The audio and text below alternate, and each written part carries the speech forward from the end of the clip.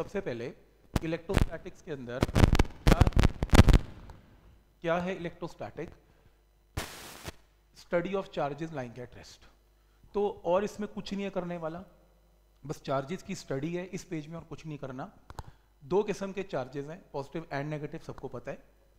Charging करने के basically क्या क्या तरीके हैं? जैसे फ्रिक्शन आप दो बॉडीज को रब करते हो तो चार्ज डेवलप हो जाता है। जैसे एक ग्लास रॉड है और एक सिल्क है। इन्हें अगर रब करेंगे तो इस ग्लास रॉड के इलेक्ट्रॉन्स किसमें चले जाएँगे? सिल्क में। तो ये एक्सेस हो जाएगा नेगेटिव और ये डेफिशिएंट हो जाएगा।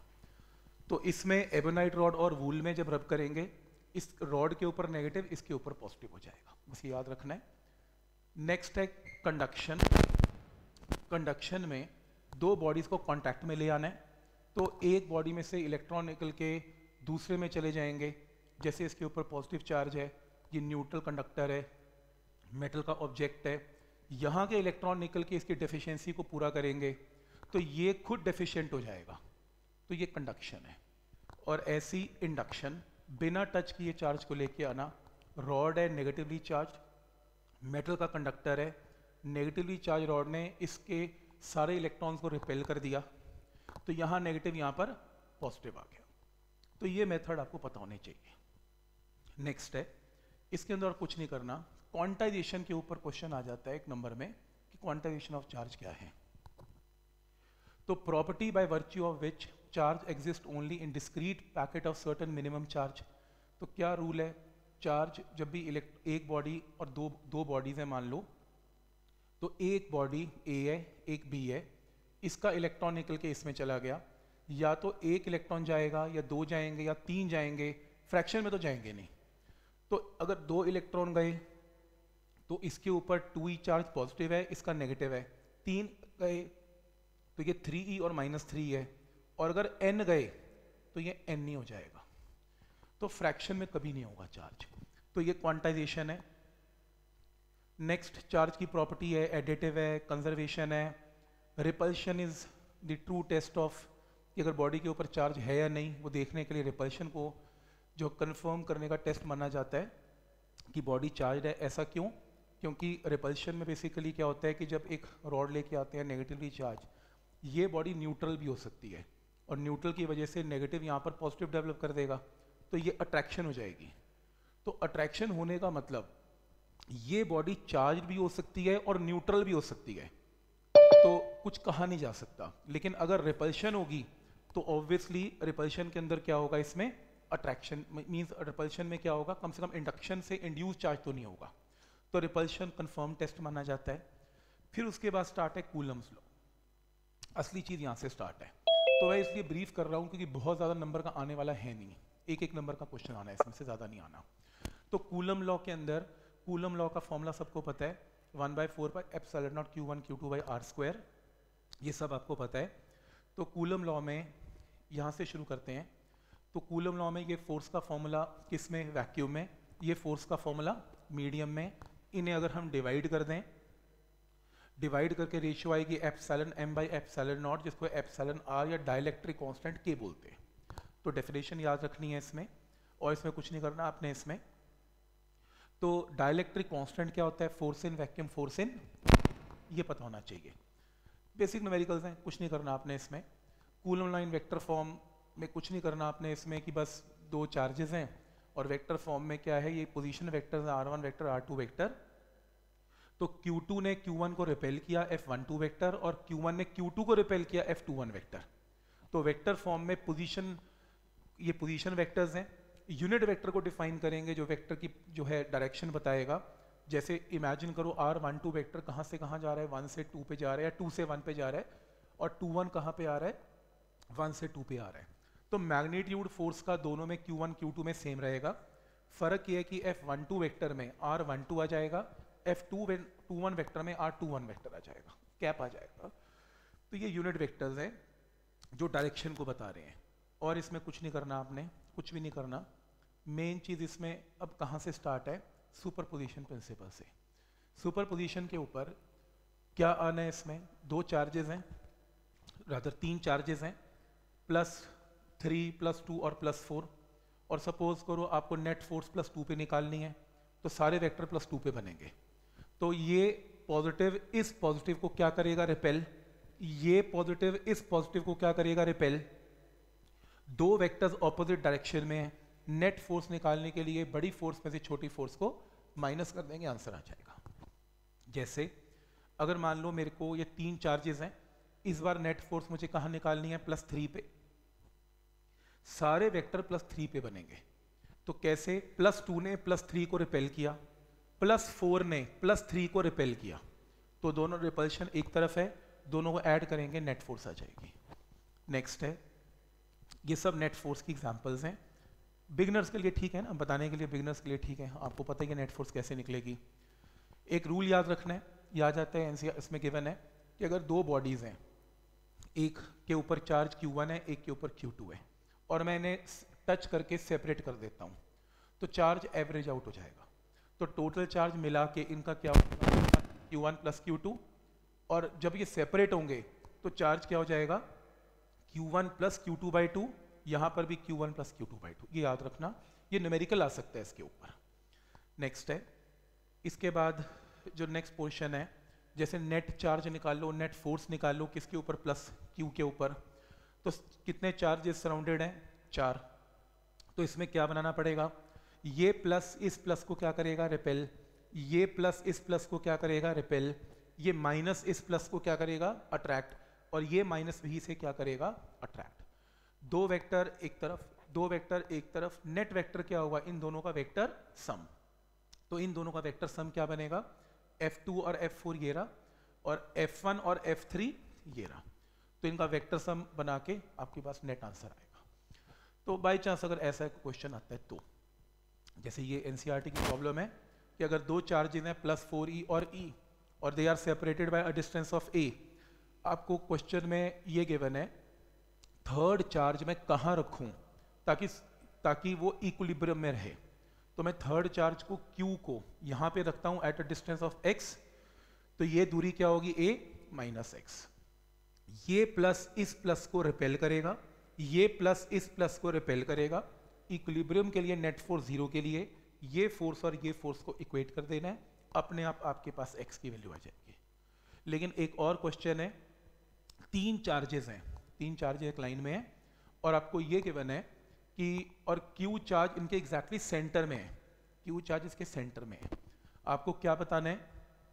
Show that system of three charges will be in equilibrium कोई पर्टिकुलर चार्ज इक्विलिब्रियम नहीं है सिस्टम सिस्टम में कितने चार्जेस हैं? तीन चार्जेस हैं। यानी कि तीनों के तीनों इक्विलिब्रियम में ले सकते हैं। कब? कंडीशन प्रूव करो अगर ये कंडीशन ट्रू है। तो सबसे पहले कोशिश ये की जाएगी कि इसका इक्विलिब्रियम बनाएँ। तो ये चार्ज इसे रिपेल करेगा। ये चार्ज इसे रिपेल करेगा। नेट फोर ज़ीरो आ गई, पर आंसर नहीं आया। तो कोई बात नहीं। इसको ले लेते हैं इक्विलिब्रियम में, क्योंकि सिस्टम इक्विलिब्रियम में है तो सेकेंड चार्ज भी इक्विलिब्रियम में है। तो ये चार्ज इसे रिपेल करेगा। मान लो डिस्टेंस एक्स और एक्स है, ये चार्ज इसे रिपेल करेगा डिस्टेंस टू एक्स है। इन दोनों को ऐड करेंगे सेम डायरेक्शन के वेक्टर्स हैं और नेट फोर्स इक्वल टू क्या करेंगे? ज़ीरो आंसर आ जाएगा। ठीक? इसके बाद नेक्स्ट जो आपका कॉन्सेप्ट है इसमें, ठीक है, इसमें ये कुछ नहीं करना आपने। मीन करना है, लेकिन मैं मेन मेन वही पार्ट करवा रहा हूँ जो मुझे लगता है कि आएगा। ये सारा कंपटीशन का पार्ट है। जिसमें इंटीग्रेशन जैसे क्वेश्चन है मेंस का पार्ट है सारा। इसके बाद जो नेक्स्ट कॉन्सेप्ट है, वो है इलेक्ट्रोस्टैटिक फ़ील्ड तो ये ना सोचें कि इतना बड़ा चैप्टर था, उस टाइम तो हमने पंद्रह दिन लगाए थे, अभी क्या है? वो बेस बनाने के लिए लगता है। पेपर अगर आप इवेल्युएट करेंगे, दो नंबर से ऊपर पेपर नहीं आएगा जितना कोर्स करवाया। इससे ऊपर मतलब ही नहीं है। इलेक्ट्रोस्टैट्स में से मोटा मोटा क्या आना है, बता देता हूँ। आपका एक पाँच नंबर का क्वेश्चन बनना है फ्लक्स में से। जो फ्लक्स की डेरिवेशन है ना शीट वाली, या उस पर तीन नंबर का न्यूमेरिकल बनना है। पक्का बनेगा और दिखाऊँगा क्या न्यूमेरिकल आता है। शीट में न्यूमेरिकल आएगा क्यू वाला न्यूमेरिकल आएगा फ्लक्स पे, और फ्लक्स की डेरिवेशन में से कुछ ना कुछ तो पक्का आएगा, पाँच नंबर का तो यही बनता है। दूसरा पोर्शन जो बनेगा छोटे मोटे क्वेश्चन वो इलेक्ट्रिक फोर्स और फ़ील्ड में डायपोल के ऊपर ज़्यादा चांस है आने का। इलेक्ट्रिक डायपोल के ऊपर। अगला क्वेश्चन आपका बनेगा एक सिंपल पोटेंशियल के ऊपर। न्यूमेरिकल बनेगा पोटेंशियल पे ज़्यादातर। चौथा क्वेश्चन बनेगा थ्योरी और न्यूमेरिकल मिला के कैपेसिटर्स का। तो कम से कम नहीं तो 12 से ऊपर नंबर का पेपर इससे बनना चाहिए। 12 14 का भी आ सकता है। सिलेबस रिड्यूस तो वेटेज बढ़ जाएगी। तो इसमें इलेक्ट्रोस्टैटिक फ़ील्ड में फॉर्मूला सबको पता है कि इलेक्ट्रिक फ़ील्ड का formula force upon point charge इसको ऐसा भी लिखा जाता है। किसी भी चीज़ को पॉइंट चार्ज लिखने की के लिए हम यहाँ लिमिट लगाते हैं क्यू अप्रोचेस टू ज़ीरो इसका मतलब इट्स अ पॉइंट चार्ज ये क्वेश्चन आया हुआ है लिमिट क्यों लगाते हैं? तो क्या फॉर्मूला ई e निकालने का, अगर ये क्यू चार्ज है यहाँ पर ई e निकालना है तो formula one by four by epsilon not q divided by r square simple formula है. इट्स अ वेक्टर क्वांटिटी बताया था. जैसे अगर मुझे यहाँ पे ई e निकालना है प्लस फाइव ने यहाँ पे कितना ई e लगाया, जहाँ ई e निकालना है, वहाँ चार्ज प्लस वन रख लें। तो यूनिट पॉजिटिव चार्ज तो फोर्स निकाल दें, ये इसे रिपेल करेगा। तो ई का formula one by four by epsilon of five upon one square लेकिन अगर मान लो माइनस थ्री चार्ज इसने यहाँ ई लगाया तो प्लस वन रखे इसे अट्रैक्ट करेगा। अट्रैक्ट करेगा तो ई की डायरेक्शन मेरी तरफ़ हो जाएगी। फॉर्मूला वही मैग्नीट्यूड वही रहेगा one by four by epsilon naught three by one का स्क्वायर ई और एफ़ की कैलकुलेशन में हम डायरेक्शन के लिए वेक्टर्स यूज़ करते हैं, वैसे मैग्नीट्यूड ही निकालते हैं। जैसे माइनस थ्री ने ई e क्या लगाया? One by four by f three by one square simple next ये सब निकालने के तरीके हैं। ई इलेक्ट्रिक फ़ील्ड के अंदर हाँ इलेक्ट्रिक लाइंस ऑफ़ फोर्स पे एक नंबर का क्वेश्चन आ सकता है। Electric lines of force imaginary lines हैं पॉजिटिव से नेगेटिव की तरफ़ जाती हैं। तो ये एक पाथ है, इसके ऊपर अगर आप कोई पॉइंट लेंगे और टेंजेंट ड्रॉ करेंगे इसके ऊपर it will give direction of electric field at that point तो ये पॉजिटिव से नेगेटिव जाती हैं। इसकी प्रॉपर्टीज़ हैं। ये पॉजिटिव से स्टार्ट होती है नेगेटिव पे ख़त्म होती हैं। ये इसके डायग्राम काफ़ी बने बने हुए हैं। टेंजेंट ड्रॉ करेंगे किसी भी पॉइंट पे फ़ील्ड के ऊपर तो it will direction of electric field at that point दो लाइंस को भी इंटरसेक्ट नहीं करती। वो पूछते हैं क्यों नहीं इंटरसेक्ट करती? क्योंकि उस पर एक कॉमन पॉइंट आ जाता है, जहाँ पर दो डायरेक्शन आएँगी फ़ील्ड की और दो डायरेक्शन पॉसिबल नहीं है। इसलिए इलेक्ट्रिक लाइन्स ऑफ़ फोर्स किसी भी बॉडी के ऊपर से 90 डिग्री पे ही ओरिजिनेट होती हैं और 90 पे ही ख़त्म होती हैं। ये इसकी प्रॉपर्टी है और electric lines of force close loop तो कभी भी नहीं बनाती। क्योंकि क्लोज लूप बनाने का मतलब एक पॉइंट से स्टार्ट होकर वहीं पर खत्म होना और पॉजिटिव और नेगेटिव चार्ज एक ही पॉइंट पर खत्म स्टार्ट नहीं हो सकते। नेक्स्ट है क्लोज लूप नहीं बनाते और can be taken to be continuous curve without any breaks तो कॉन्टिन्यूस है, हवा में ब्रेक नहीं होगी पॉजिटिव से स्टार्ट होगी नेगेटिव पे ही जाएगी। और अगर नेगेटिव चार्ज नहीं है तो इनफाइनाइट तक जाएगी, पर ब्रेक नहीं होंगी। नेक्स्ट है, जहाँ पर ज़्यादा लाइंस हैं, वो चार्ज का मैग्नीट्यूड बढ़ा है। तो ए का मैग्नीट्यूड बढ़ा है, जहाँ पर कम लाइंस एंटर हो रही हैं, वहाँ पर मैग्नीट्यूड छोटा है। ये इसका एग्ज़ाम्पल है। नेक्स्ट है इलेक्ट्रिक डायपोल डायपोल क्या है? प्लस और minus q charge separated by a distance of two a dipole है। डायपोल को डायपोल के लिए क्या स्टडी किया जाता है? डायपोल मोमेंट पी वेक्टर जिसका formula q into two a है। ये किया हुआ है। डायपोल मोमेंट की direction is from negative to positive electric field की direction is from positive to negative e positive से नेगेटिव पी माइनस से प्लस नेक्स्ट है. एक्सियल इक्वेटोरियल के ऊपर रिजल्ट्स आ सकते हैं. सीधा डेरिवेशन में कह नहीं सकता. बहुत ज़्यादा पुराने पेपर में नहीं मिलेगी, लेकिन इसके ऊपर ऑब्जेक्टिव आ सकता है. बताता हूँ क्या? पर हमें करके तो जाना ही है फिर भी. जो टेस्ट हो रहे हैं आपके इलेक्ट्रोस्टैट्स के सी के इलेक्ट्रिसिटी के जो मैंने लिए, वो नॉर्मल टेस्ट नहीं है, लंबे टेस्ट बनाए मैंने। बनता तो एक घंटे का था। सारे टेस्ट दो दो घंटे के लिए उनतीस उनतीस क्वेश्चन भी थे उसमें। मैं बता देता हूँ वो कहाँ से बने हैं, वो सिर्फ़ टेन ईयर्स हैं। तो वो टेस्ट देने बहुत ज़रूरी हैं, कई लोग मिस भी करते हैं, घर पे बैठ के लेक्चर भी लगा रहे हैं आराम से, कि शायद सुनने से तैयारी हो जाएगी। नहीं होगी। जब तक आप पुराने पेपर नहीं करेंगे, आपको आइडिया भी नहीं होगा कि आपके साथ क्या होने वाला है। कितना भी सैंपल पेपर कर जाए, कितनी भी थ्योरी को रट के चले जाएँ, जब तक पुराने प्रीवियस ईयर नहीं लिए प्रीवियस ईयर मतलब प्रीवियस ईयर मार्केट में मिलते हैं, सौ, डेढ़ सौ रुपये के मिलते हैं सिर्फ़ तो वो क्वेश्चन चेक करने बहुत ज़रूरी है उसमें से, उसके बिना बात नहीं बननी, मैं पहले बता दूँ आपको। जब भी कोई टेस्ट की तैयारी करके आए, चार पाँच साल का पेपर करके आए, ठीक सैंपल पेपर बाद में कर लें, लेकिन प्रीवियस ईयर पहले कर लें रिपीट होंगे क्वेश्चन मैं आपको बता रहा हूँ। तो इलेक्ट्रिक फ़ील्ड एक्सियल लाइन पे निकालना है तो minus q plus q dipole है separated by distance two a है एक्सियल लाइन पे अगर कोई पॉइंट पी है, यहाँ पर आपको ई e निकालना है तो यहाँ पर प्लस वन रख दें। ये चार्ज पॉजिटिव इस पॉजिटिव को रिपेल करेगा ई e निकाल लें। ये माइनस इस प्लस वन को अट्रैक्ट करेगा ई e निकाल लें। बड़े ई e में से छोटे ई e को माइनस कर लें। तो एक्सीएल की डेरिवेशन तो यहाँ पे जब माइनस करेंगे माइनस करके आपके पास ना कुछ ऐसा आंसर आएगा।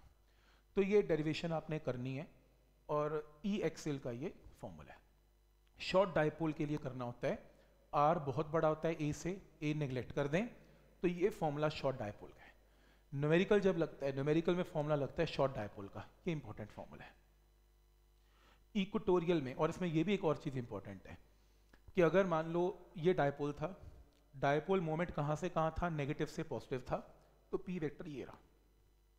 और जब मैंने ई e निकालने की कोशिश की तो ये दो ई e की values I.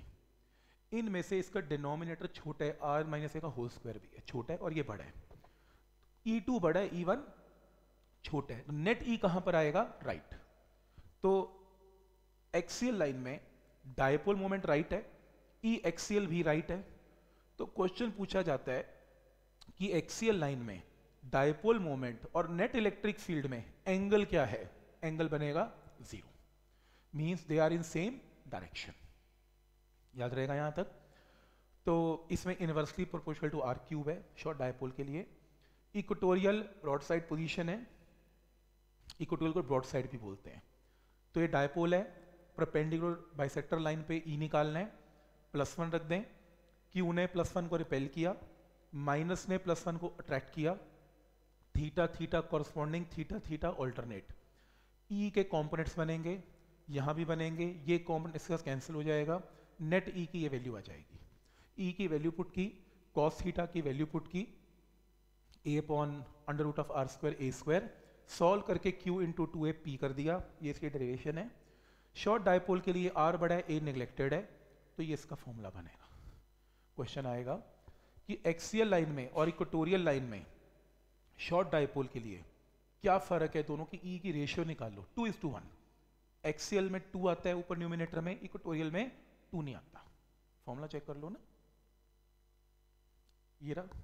Two p by r cube इसमें पी बाई आर क्यू तो ऑब्जेक्टिव आएगा तो two is to one next है, इसके अंदर, अगर आप डेरिवेशन देखें तो डायपोल मोमेंट कहाँ से कहाँ है? माइनस से प्लस माइनस से प्लस नेट ई e कहाँ पर है? ऑपोजिट तो पेपर में आएगा इक्वेटोरियल लाइन में पी में और ई e में एंगल क्या बनेगा? 180 एट्टी एक्सियल लाइन में ई e और पी में एंगल ज़ीरो इक्वेटोरियल लाइन में क्या बनेगा? 180 ये याद रखना है ऑब्जेक्टिव पॉइंट ऑफ़ व्यू से। एनी लाइन का खुद एक बार देख लेना चांस थोड़ा सा कम ही रहता है इस पे एनी पॉइंट पे। नेक्स्ट है, इसके न्यूमेरिकल्स हैं।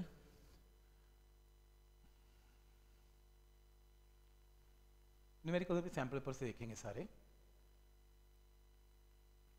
जब भी कोई charge particle perpendicular electric field में एंटर करता है, उसका जो पाथ है, वो क्या बनता है? पैराबोलिक इन नेचर याद रखना है परपेंडिकुलर इलेक्ट्रिक फ़ील्ड में पाथ हमेशा पैराबोला ही बनेगा। डेरिवेशन नहीं आती इसके ऊपर। रिंग आती है। रिंग के ऊपर दो नंबर में या तीन नंबर में आ सकता है, आ सकता है। एक चार्ज रिंग है।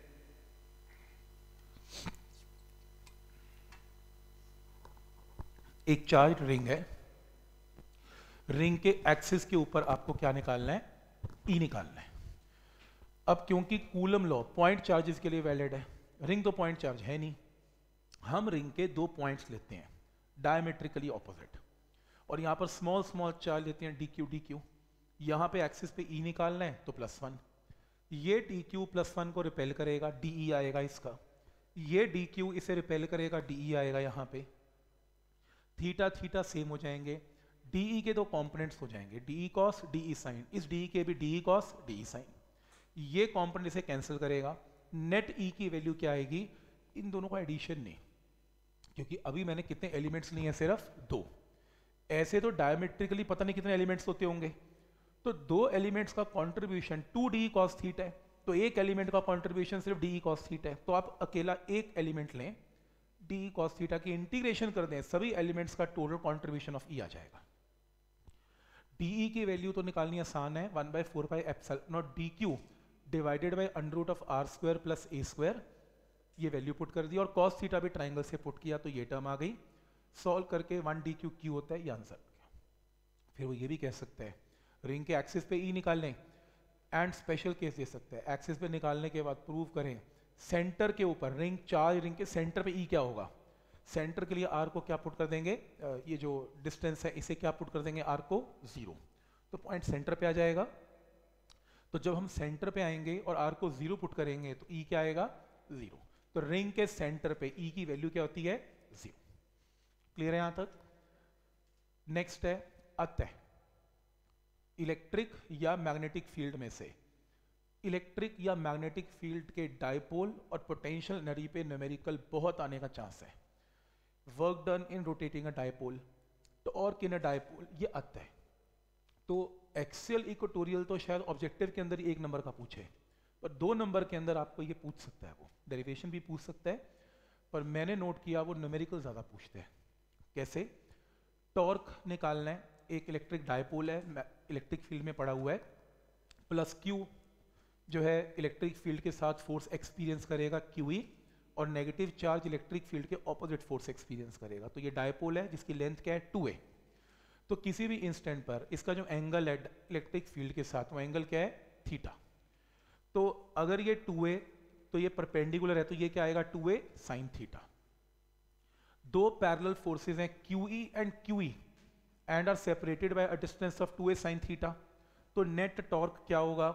Force into perpendicular distance force की वैल्यू क्या है? क्यू ई पर पेंडिकुलर डिस्टेंस क्या है? Two a sine theta q into two a क्या है? पी, ये डेरिवेशन है पी साइन थीटा और वेक्टर फॉर्म में पी क्रॉस सी ऑब्जेक्टिव के अंदर बहुत चांस है आने का क्वेश्चन वो पूछेगा कि ये बताओ कि जब dipole electric dipole electric field के साथ अलाइंड है, यानी कि थीटा क्या है? ज़ीरो तो टॉर्क क्या होगा? तो थीटा ज़ीरो में टॉर्क क्या आएगा? ज़ीरो टॉर्क मैक्सिमम कब होगा? जब एंगल क्या होगा? थीटा 90 क्योंकि साइन 90 की वैल्यू क्या होगी? मैक्सिमम ये ऑब्जेक्टिव में आ सकता है। नेक्स्ट है स्टेबल अनस्टेबल पे आ सकता है इक्विलिब्रियम पे।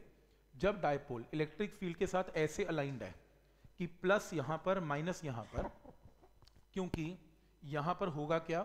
प्लस यहाँ पर है तो एक फोर्स लगेगी यहाँ पर क्यूई e और नेगेटिव चार्ज पे फोर्स ऑपोजिट लगेगी क्यूई नेट फोर्स क्या है? ज़ीरो आप अगर इस डायपोल को हिला भी दें ऐसा टेढ़ा कर दें, ये वापस ऐसे आ जाएगा रोटेट करके वापस इक्विलिब्रियम पे आ जाएगा।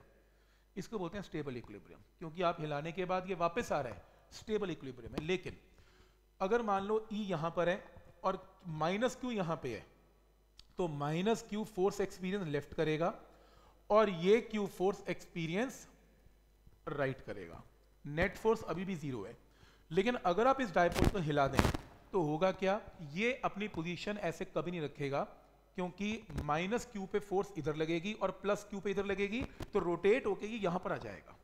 तो यानी कि ये ऐसा था, हिलाया तो ऐसा आ गया।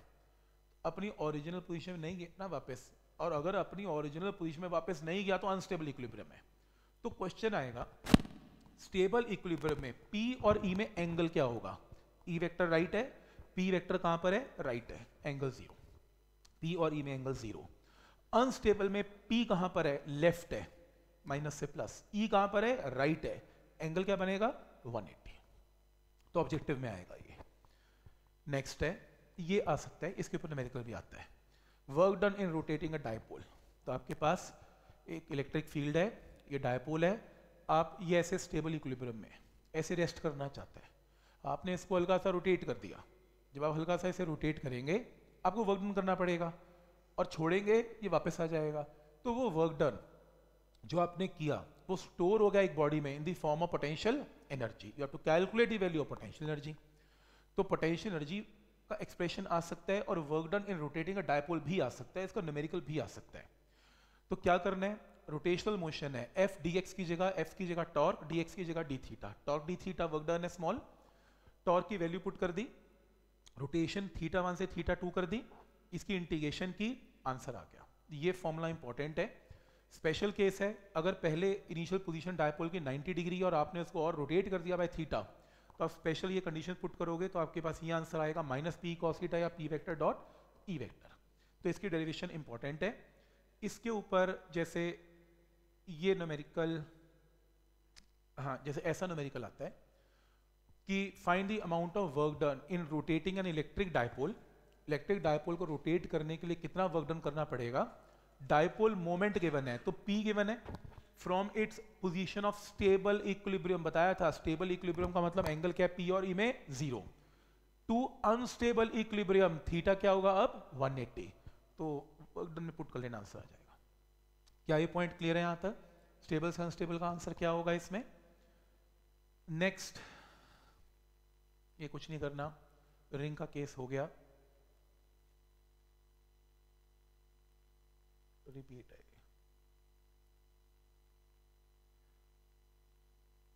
कंपटीशन का ये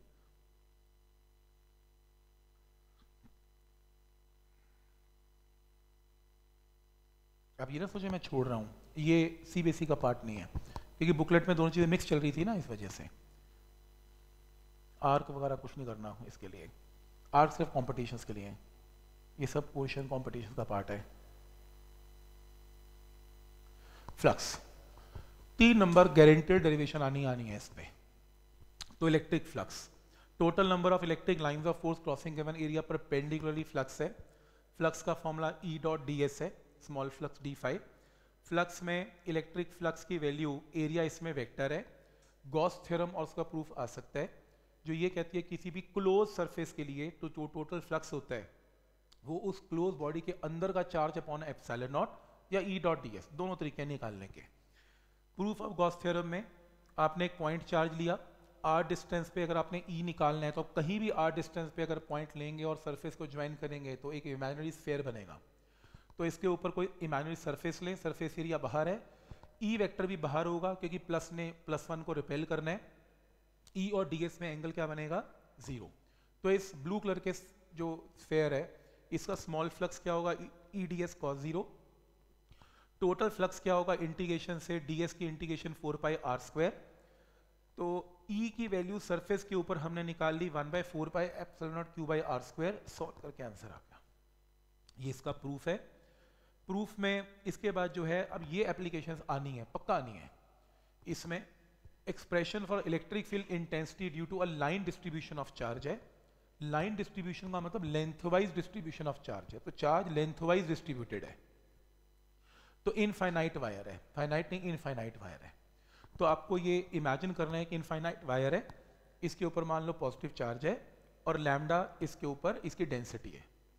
लैम्डा का मतलब है चार्ज अपॉन लेंथ तो आपको इसके आर डिस्टेंस दूर ई e निकालना है। तो इस लाइन चार्ज के आर डिस्टेंस दूर, ये भी पॉइंट है, ये भी पॉइंट है, ये भी ये भी, हर तरफ़ पॉइंट ही पॉइंट है। और अगर आप इन आर डिस्टेंस दूर पॉइंट्स को मिलाएँ स्मॉल गॉशियन सरफेस को मिलाएँ तो क्या बनेगा? इमेजिनरी सिलेंडर बनेगा। तो जहाँ पे ई e निकालना है, वहाँ इमेजिन करें प्लस वन चार्ज है। ये प्लस प्लस को रिपेल करेगा। एरिया वेक्टर भी राइट है। तो स्मॉल फ्लक्स इस पे क्या बनेगा? E d s cos zero और टोटल फ्लक्स के लिए integration of surface area two pi r l surface area of a cylinder लेकिन किसी ने कहा, सर, ये करने की ज़रूरत ही नहीं है। क्योंकि ये इमेजिनरी क्लोज बॉडी बन गई है गॉशियन सरफेस तो आप सिर्फ़ इसके अंदर का चार्ज लें, जो एल लेंथ पे चार्ज है। एल लेंथ पे क्या चार्ज है? लैमडा इंटू एल लैमडा का मतलब क्या है? Charge per unit length into length तो लैमडा इंटू एल तो lambda into l upon epsilon naught तो फ्लक्स हमने दो तरीके से निकाला, दोनों को इक्वेट किया ई e की वैल्यू आ गई। इंपॉर्टेंट है। ये नहीं आएगा तो फिर शेल या स्फेयर तो पक्का आएगा। इसमें ई e निकालना है ड्यू टू स्फेरिकल शेल पहले शेल जो अंदर से खाली है, फिर सॉलिड स्फेयर जो जिसके अंदर भी चार्ज है। जब हम बोलते हैं सॉलिड स्फेयर के अंदर चार्ज है, वो कभी भी कंडक्टर नहीं हो सकता। किसी भी कंडक्टर के अंदर चार्ज स्टे नहीं करता। तो वो क्या होगा? नॉन कंडक्टिंग होगा। कई बार लोग कंफ्यूज हो जाते हैं नॉन कंडक्टिंग कंडक्टिंग में क्या फ़र्क है? सॉलिड स्फेयर के अंदर चार्ज नहीं होगा, और अगर होगा तो वो कंडक्टर नहीं होगा। तो जब हम सॉलिड स्फेयर का ई e निकालेंगे, वो नॉन कंडक्टिंग स्फेयर है, और ये एक कंडक्टिंग स्फेयर है। शेल कंडक्टिंग है। तो आपने पढ़ा भी होगा न्यूमेरिकल में कंसिडर कंडक्टिंग शेल्स बहुत लिखते हैं वो। तो इसमें हमने ई e निकालना है। एक बार इस शेल के ऊपर जो चार्ज है, वो डिस्ट्रीब्यूटेड कैसे है? सरफेस एरिया वाइड डिस्ट्रीब्यूशन है। जब भी charge surface area wide distributed है, हम डेंसिटी लैमडा यूज़ नहीं करते, हम यूज़ करते हैं सिग्मा सिग्मा का मतलब चार्ज अपॉन एरिया तो सिग्मा संभाल के रखें। तो पहला केस है आर ग्रेटर देन आर ये आपका एक्चुअल स्फेयर था शेल था। इस शेल के स्मॉल आर डिस्टेंस दूर आपको ई e निकालना है। तो take a Gaussian surface E और डीएस में हमेशा एंगल ज़ीरो है इसमें तो E d s cos zero और इंटीग्रेशन करके four pi small r square क्योंकि हम फ्लक्स किसका निकालते हैं? गॉशियन सरफेस का एक्चुअल स्फेयर का नहीं। हमारी गॉशियन सरफेस गॉशियन सरफेस वो सरफेस है, जहाँ पर हमें ई e निकालना है। तो ये रेडियस क्या है? गॉशियन सरफेस का स्मॉल आर तो सरफेस एरिया क्या है? Four pi small r square लेकिन गॉशियन सरफेस का फ्लक्स एक और तरीके से निकल सकता है गॉस थ्योरम से। इस गॉशियन सरफेस के ये इमेजिनरी इसके तो कोई चार्ज नहीं है। इसके अंदर कितना चार्ज है? इसके अंदर बस ये ब्लू कलर का चार्ज है बस। और ब्लू कलर का चार्ज है कितना? Sigma into four by capital r square small r square नहीं, क्योंकि चार्ज कैपिटल आर के ऊपर है। तो ये भी फ्लक्स है, ये भी फ्लक्स है इक्वेट करके ई e की वैल्यू आ गई। अब सरफेस के ऊपर निकालना है तो पिछले एक्सप्रेशन में स्मॉल आर को कैपिटल आर के ऊपर पुट कर दो तो ये ई e की वैल्यू आ गई। अगर शेल के अंदर निकालना है किसी भी शेल के अंदर अगर आप पॉइंट लेंगे और गौशन सरफेस लेंगे तो उसके अंदर कोई चार्ज आपको मिलेगा नहीं, क्योंकि चार्ज तो सरफेस के ऊपर पड़ा हुआ है। गौशन सरफेस छोटी बन गई है। तो फ्लक्स यहाँ पर क्या आएगा? ज़ीरो और क्यू इनसाइड भी ज़ीरो है तो ई e की वैल्यू भी क्या आएगी? ज़ीरो तो किसी भी शेल के अंदर ई e एग्जिस्ट नहीं करता। तो चाहे शेल के बाहर एग्जिस्ट करते हैं, अंदर नहीं करता तो इस प्रोसेस को क्या बोलते हैं? इलेक्ट्रोस्टैटिक शील्डिंग कि चार शेल के अंदर जाके बैठ जाओ, वहाँ पर ई e आपको ज़ीरो मिलेगा। तो ये फॉर्मूला मैंने लिखे हुए हैं। शेल के बाहर ई का फॉर्मूला शेल के ऊपर ई का फॉर्मूला शेल के अंदर ई का फॉर्मूला ठीक? नेक्स्ट है, ये ग्राफ आता है. किसी भी शेल के के लिए ई और आर का ग्राफ ड्रॉ करें. शेल के अंदर ई क्या है? ज़ीरो और बाहर क्या है? Inversely proportional to small r square ये ग्राफ सीधा ऑब्जेक्टिव में आएगा. शील्डिंग मैंने बता दी क्या होती है? नेक्स्ट है यूनिफॉर्मली चार्ज सॉलिड स्फेयर एक चार्ज सॉलिड स्फेयर के अंदर ई e की वैल्यू क्या होगी? तो केस नंबर वन अगर कोई पॉइंट बाहर है, अगर कोई पॉइंट बाहर है एक सॉलिड स्फेयर के तो फ्लक्स का फॉर्मूला सेम ही होगा जो शेल के लिए, कोई फ़र्क नहीं है। लेकिन जब फ्लक्स क्यू इनसाइड से निकलेगा, क्योंकि इसके अंदर चार्ज है, और अगर अंदर चार्ज है तो वॉल्यूम डिस्ट्रीब्यूशन ऑफ़ चार्ज है। वॉल्यूम डिस्ट्रीब्यूशन में क्या यूज़ करते हैं? रो तो रो इनटू इसका वॉल्यूम इसका वॉल्यूम क्या है? Four by three pi capital r cube volume है। तो ये भी फ्लक्स है, ये भी फ्लक्स है, दोनों को इक्वेट करके ई e की वैल्यू आ गई। सरफेस के ऊपर लेके जाना है स्मॉल आर को कैपिटल आर पुट कर दे तो ई e का फॉर्मूला आ गया। और अगर आपको इनसाइड निकालना है, किसी भी सॉलिड स्फीयर के अंदर कितना ई e है तो आप Gaussian surface small r radius की बनाएँ। इसका फ्लक्स क्या होगा? E into four pi small r square और फ्लक्स एक और तरीके से निकला, इसका रो इंटू इतना वॉल्यूम इतना ही वॉल्यूम बस। क्योंकि हम गॉशियन सरफेस का फ्लक्स निकाल रहे हैं। गॉशियन के अंदर इतना चार्ज है, कितना rho into four by three pi small r cube इतना चार्ज है। तो ये भी फ्लक्स है, ये भी फ्लक्स है इक्वेट करके ई e की वैल्यू आ जाएगी। तो मैंने ये बना दिया। फॉर्मूले लिखे हुए हैं बुकलेट में ई e का फॉर्मूला बाहर क्या होगा, ऊपर क्या होगा और अंदर क्या होगा। तीनों चीज़ें हो गई। ग्राफ आएगा। अगर आप चेक करें कि सॉलिड स्फीयर के इनसाइड ई जो होता है, वो directly proportional to small r है। और आउटसाइड जो होता है inversely proportional to small r square है तो ग्राफ इनसाइड के लिए डायरेक्टली और बाहर इनवर्सली आर स्क्वायर के प्रोपोर्शनल है। क्लियर है? ये ग्राफ एक नंबर आएगा। शेल का और सॉलिड स्फीयर के ग्राफ आ सकते हैं। डेरिवेशन भी आ सकती है। कूलम लॉ को ड्राइव करना है गॉस थ्योरम से। क्यू चार्ज है पॉइंट कूलम लॉ जब आ रही है तो पॉइंट चार्ज लेना है आपने। कोई बॉडी नहीं लेनी। पॉइंट चार्ज लिया। पॉइंट चार्ज के आर डिस्टेंस दूर ई e निकाल दो। तो वहाँ पर इमेजिन करो कि क्यू नॉट चार्ज है। तो क्यू नॉट इंटू ई आपके पास फोर्स आ जाएगी और वही कूलम फोर्स है। तो एक काम करते हैं, पहले ई e निकालते हैं। आर डिस्टेंस दूर कोई भी पॉइंट लेंगे और इमेजनरी गॉशियन सरफेस फेयर बनेगी। तो फ्लक्स क्या होगा इसका? E into four pi small R square या क्यू अपॉन एप्सैलर नॉट तो क्योंकि पॉइंट चार्ज है, इसमें लैमडा सिग्मा और रो का मतलब नहीं है पॉइंट चार्ज में कोई डेंसिटी यूज़ नहीं करते। तो ये फ्लक्स की वैल्यू आ गई पॉइंट चार्ज की, दोनों को इक्वेट करके ई e की वैल्यू आ गई। तो स्मॉल आर डिस्टेंस दूर ई e आ गया और फोर्स की वैल्यू क्या होती है? क्यू नॉट ई ई की वैल्यू पुट की फोर्स की वैल्यू आ गई। इन सब में से सबसे ज़्यादा आने की प्रोबेबिलिटी शीट है। अगर आप ये पूछो कि इनमें से क्या, देखो, ये सारे इंपॉर्टेंट है। तभी मैं आराम आराम से करवा रहा हूँ। ये सारे इंपॉर्टेंट है, पर इनमें से भी क्या सबसे ज़्यादा इंपॉर्टेंट है? शीट शीट बहुत शेल और शीट और लाइन चार्ज तो बहुत बार रिपीट होती है। शीट के तो और भी तरीके हैं क्वेश्चन पूछने के। तो शीट के ऊपर बहुत इंपॉर्टेंट रिज़ल्ट है। तो इमेजिन करें, एक इनफाइनाइट शीट है। इस इनफाइनाइट शीट के ऊपर सिग्मा चार्ज एरिया डिस्ट्रीब्यूटेड है। आपने इनफाइनाइट तो नहीं ले सकते। इसका स्मॉल एक पोर्शन लें, जिसका cross section area small A है। इसमें स्मॉल आर डिस्टेंस दूर आपको ई e निकालना है, चाहे राइट पे, चाहे लेफ़्ट पे। स्मॉल आर डिस्टेंस दूर गौशियन सरफेस लें। वो गौशियन सरफेस भी सर्कल ही बनेगी। यहाँ भी सर्कल ही बनेगी। इन्हें क्लोज करने के लिए इमेजिनरी लाइंस बना दें तो ये क्लोज बॉडी बन गई। अब यहाँ पर तीन किस्म की सरफेस है। ये क्रॉस सेक्शन एक है, ये क्रॉस सेक्शन दो है और कर्व तीन है। इसका फ्लक्स क्या होगा? E D S cos zero इसका होगा E D S cos zero इसका E D S cos ninety curve surface का फ्लक्स ज़ीरो काउंट होगा। एंगल ई और डी एस में नाइनटी है। तो टोटल फ्लक्स क्या बनेगा? E D S cos zero E D S cos zero E D S cos तो E D S E D S area A है तो E into area E into area two into E into area और flux होता क्या है? Q inside by epsilon naught Q inside क्या होगा? Sigma into area क्योंकि चार्ज एरिया वाइज डिस्ट्रीब्यूटेड है। इन्हें इक्वेट कर लें इक्वेट करके ई e की वैल्यू आ गई। ये इंपॉर्टेंट है, बहुत इंपॉर्टेंट है। अगर ये ना आया, ये ना आया तो ये याद हाँ एक स्पेशल केस है, ये थिन शीट है। अगर थिक शीट होगी तो देखो थिक कंडक्टिंग शीट है। किसी भी कंडक्टर के अंदर तो चार्ज होगा नहीं। या तो इस तरफ़ होगा या इस तरफ़ होगा।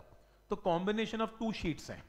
तो अगर मैं कहूँ कि यहाँ पे ई e निकाल लो तो एक शीट जहाँ ई e निकालना है, वहाँ प्लस वन चार्ज रख लें। डायरेक्शन देखने के काम आता है तो ये प्लस ने प्लस को रिपेल किया और एक शीट ने ये ई e लगाया। तो दूसरी शीट ने भी यहाँ पर राइट की तरफ़ ई लगाया। टोटल ऐड करके थिक शीट का ये फॉर्मूला बन गया। हालाँकि आता नहीं है। आता थिन शीट पे ही है। तो या तो वो आएगा या ये आएँगे। वो आपको ना स्पेशल केस देगा। जैसे वो कहेगा, दो पैरल शीट्स ले लो। दोनों के ऊपर चार्ज सेम है, लेकिन पॉजिटिव पॉजिटिव है सिग्मा सिग्मा तो इसमें सिग्मा सिग्मा चार्ज है। वो कहेगा, तीन रीजन हैं। पहला रीजन दूसरा रीजन तीसरा रीजन आप यहाँ पे ई e निकालने क्या होगा? जहाँ ई e निकालना है प्लस वन ये पॉजिटिव इस प्लस वन को रिपेल करेगा। ये पॉजिटिव इस प्लस वन को रिपेल करेगा। तो दोनों लेफ़्ट की तरफ़ हैं और नेट ई e क्या होगा? दोनों को ऐड करेंगे thin sheet thin sheet answer वो कहेगा, यहाँ पर इस रीजन में ई e निकालो। तो ये इसे रिपेल करेगा, ये इसे रिपेल करेगा और दोनों वैल्यू बराबर लगाएँगे तो नेट ई e क्या हो जाएगा? ज़ीरो और वो यहाँ पर अगर कहेगा तो दोनों ई e ऐड हो जाएँगे नेट ई e की वैल्यू आ जाएगी। लेकिन वो इसकी जगह ये भी दे सकता है। वो आपको कहेगा कि एक शीट पॉजिटिव एक शीट नेगेटिव है। सिग्मा माइनस सिग्मा दे देगा। अब कहेगा, तीन रीजन है। अब बोलो ई e की वैल्यू क्या होगी? तो रीजन नंबर वन में प्लस वन रखें। ये पॉजिटिव इसे क्या करेगा रिपेल पर ये नेगेटिव इसे क्या करेगा? अट्रैक्ट मैग्नीट्यूड दोनों का बराबर है नेट ई ज़ीरो ऐसे यहाँ पर भी नेट ई क्या हो जाएगा? ज़ीरो लेकिन इनके बीच में रीजन में प्लस वन चार्ज रखा तो ये पॉजिटिव इसे रिपेल करेगा नेगेटिव अट्रैक्ट करेगा net E sigma by epsilon naught यहाँ तक ये कहानी खत्म होती है, जिसमें पॉजिटिव नेगेटिव चार्जेस की शीट है। और आसपास रीजन में ई e ज़ीरो है, और इनके बीच में कहीं पर भी ई e लिया जाएगा, वो कांस्टेंट है सिग्मा बाय एप्सिलॉन नॉट और यही क्या बनता है? कैपेसिटर के अंदर यूज़ किया जाता है रिज़ल्ट ठीक? इसके ऊपर या तो ये थ्योरी में जो बताया, ये आएगा. या फिर फ्लक्स के कुछ न्यूमेरिकल्स हैं, जो पक्का किसी ना किसी फॉर्म में तो आने ही हैं आपको. उनमें से दो तीन न्यूमेरिकल ना बहुत ही ज़्यादा टिपिकल हैं, जो बहुत आते हैं. तो वो तीन चार न्यूमेरिकल देख लेते हैं. जैसे आपको ई e वेक्टर देगा, आपको एस वेक्टर देगा। और आपसे फ्लक्स पूछेगा तो सिंपल डॉट प्रोडक्ट लगाना ई डॉट एस आंसर आ जाएगा। ज़्यादातर चांस जो है क्वेश्चन आने का, वो है, या तो ये भी बहुत सिंपल है, कि आपको एक शीट देगा टेन बाई टेन की शीट है, और कुछ पाँच सेंटीमीटर के ऊपर पॉइंट चार्ज देगा क्यू कहेगा कि इस क्यू चार्ज ने कितना फ्लक्स लगाया यहाँ पे? तो आप क्या करेंगे गॉसरम लगाने के लिए तो क्लोज बॉडी बनाएँगे। तो इमेजिन करेंगे कि यहाँ भी यहाँ भी यहाँ भी यहाँ भी हर तरफ़ सरफेस हो एक क्यू बन गया। एक क्यू के सेंटर पे क्यू चार्ज है तो क्यूब का टोटल क्यूब का फ्लक्स क्या होगा? क्यू बाई एप्सिलॉन नॉट पर क्योंकि हमें तो एक साइड का फ्लक्स पूछा है, इसको छह से क्या कर देंगे? डिवाइड आंसर लेकिन इससे ज़्यादा ज़रूरी जो है, जो मैं समझता हूँ, ये तो बहुत चीज़ें हैं ही, हमने की हैं क्लास में। जैसे ऐसा क्वेश्चन एनसीईआरटी में आता है। एस वन एस टू दो फेयर देगा। कहेगा, ये एक क्यू चार्ज है, ये एक टू क्यू चार्ज है तो एस वन का फ्लक्स क्या होगा? Q by epsilon naught S two का फ्लक्स क्या होगा? Two Q plus Q charge inside a sphere two Q plus Q by epsilon naught यही रूल है ना? क्यू इनसाइड लेना होता है। तो पहले शेल का चार्ज क्यू है और दूसरे शेल के अंदर charge two Q plus Q हो जाएगा, इसकी रेशियो आ जाएगी। इसकी जगह ये क्वेश्चन बहुत ही फ़ेमस है। ऐसा क्वेश्चन तो एनसीईआरटी में पूछा जाता है। तो आप प्लीज़ जो मैं टेस्ट ले रहा हूँ, आप एक बार टेस्ट दें इसका रिवाइज करके। और इसमें जितने भी क्वेश्चन हैं उसको ना थॉरली देखें। क्योंकि वो टेन ईयर पेपर ही है, मैंने अपनी तरफ़ से उसमें शायद ही कुछ डाला है। आप टेन ईयर पेपर उठा लें, वो तैयारी करके ले, वो तैयार करके आए तो भी पूरे नंबर आ जाएँगे। ये पेपर कर लें तो टेन ईयर हो जाएगा। मतलब ये करने बहुत ज़रूरी है, अगर आप दुनिया का कुछ भी कर रहे हैं, और अगर आप पिछले चार साल का पेपर नहीं कर रहे हैं ना, आपका पेपर ठीक होने वाला है ही नहीं। ये मैं पहले बता दूँ आपको। कभी भी तैयारी करो, जो एग्जामिनेशन देने जा रहे हो देख तो लो, वो पूछता क्या है? सही बोल रहा हूँ ना? ये तो देखा नहीं, पूछता क्या है? खुद ही अपने तरफ़ से तैयारी करे जा रहे हो। मत करो। स्कूल के पेपर्स बिल्कुल डिफरेंट फॉर्मेट के बनते हैं, वो टीचर डिपेंडेंट है, किसी को नंबर कम देने हैं क्लास में ज़्यादा देने हैं टीचर ऊपर नीचे कर देता है, कोई फ़र्क नहीं पड़ता उसको। लेकिन जो एक्चुअल है, वो आपको पुराने पेपर ही बताएँगे। तो प्लीज़ जो भी आप बीस दिन में करोगे, जैसे इलेक्ट्रोस्टैट्स काम करोगे तो आप पुराने पेपर ज़रूर उसको सॉल्व करो। ठीक है? नेक्स्ट है, जैसे ई e की वैल्यू है।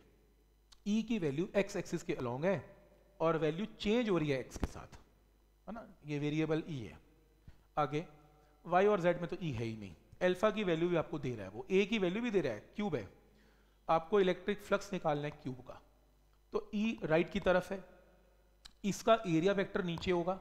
इसका एरिया वेक्टर ऊपर होगा। परपेंडिकुलर टू दी एरिया इसका एरिया लेफ़्ट इसका राइट इसका इस तरफ़ और पीछे वाले का पीछे की तरफ़। हर के एरिया वेक्टर अलग अलग है।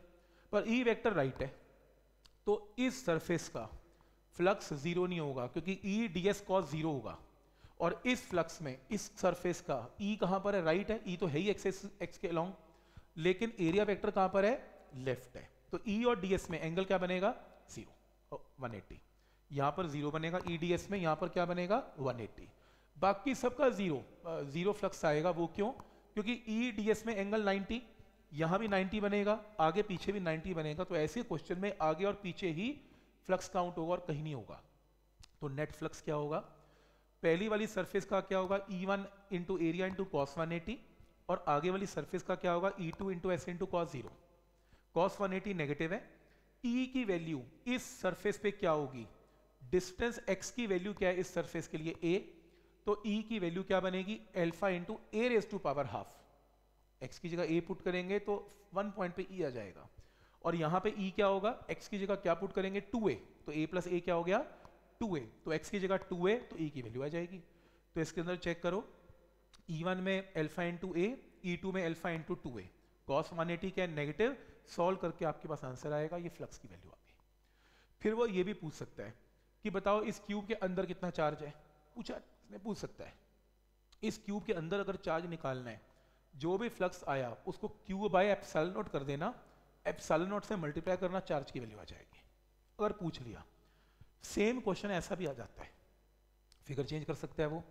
सेम क्वेश्चन है E D S cos one eighty E D S cos zero और कर्व सरफेस पे फ्लक्स क्या है?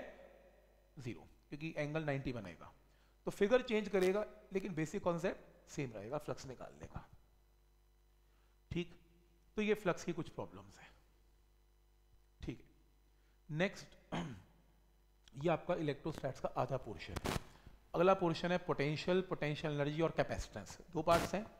तो पहले फ़र्स्ट पार्ट देख लेते हैं। तो फ़र्स्ट पार्ट में, ये रहा फ़र्स्ट पार्ट इसके अंदर जैसे, और हाँ एक और चीज़। ये यूलाई का सैंपल पेपर है। मेरे ख्याल से आपने कोई लिया सैंपल पेपर आपने कोई यूलाई का एग्ज़ाम आइडिया कुछ लिया हुआ है? क्या लिया है? कोई भी, अरिहंत का, ठीक है, कोई भी लिया और अगर नहीं लिया तो कोई बात नहीं। इसमें जो जितने ऑब्जेक्टिव क्वेश्चन देखेंगे, इसमें ना सब्जेक्टिव ऑब्जेक्टिव वन मार्क्स और थ्री मार्क्स सारे क्वेश्चंस हैं। तो एक सैंपल पेपर कर लेना चाहिए बोर्ड्स के लिए। सैंपल पेपर करने का एक ही मकसद होता है। उसका मकसद ये नहीं है कि हम उसमें से कुछ कंटेंट निकाल लेंगे, कुछ नया सीखेंगे, आपको आता है सारा कुछ। क्वेश्चन कैसे पूछा जाता है, बस ये इंपॉर्टेंट है। क्योंकि क्वेश्चन आगे आगे पूछते हैं ना तो बस ये इंपॉर्टेंट है, वो हेल्प हो जाती है। मैं ड्राइव पे डाल दूँगा इसे तो एक बार देखना हो तो गो थ्रू कर लेना इसे, ठीक?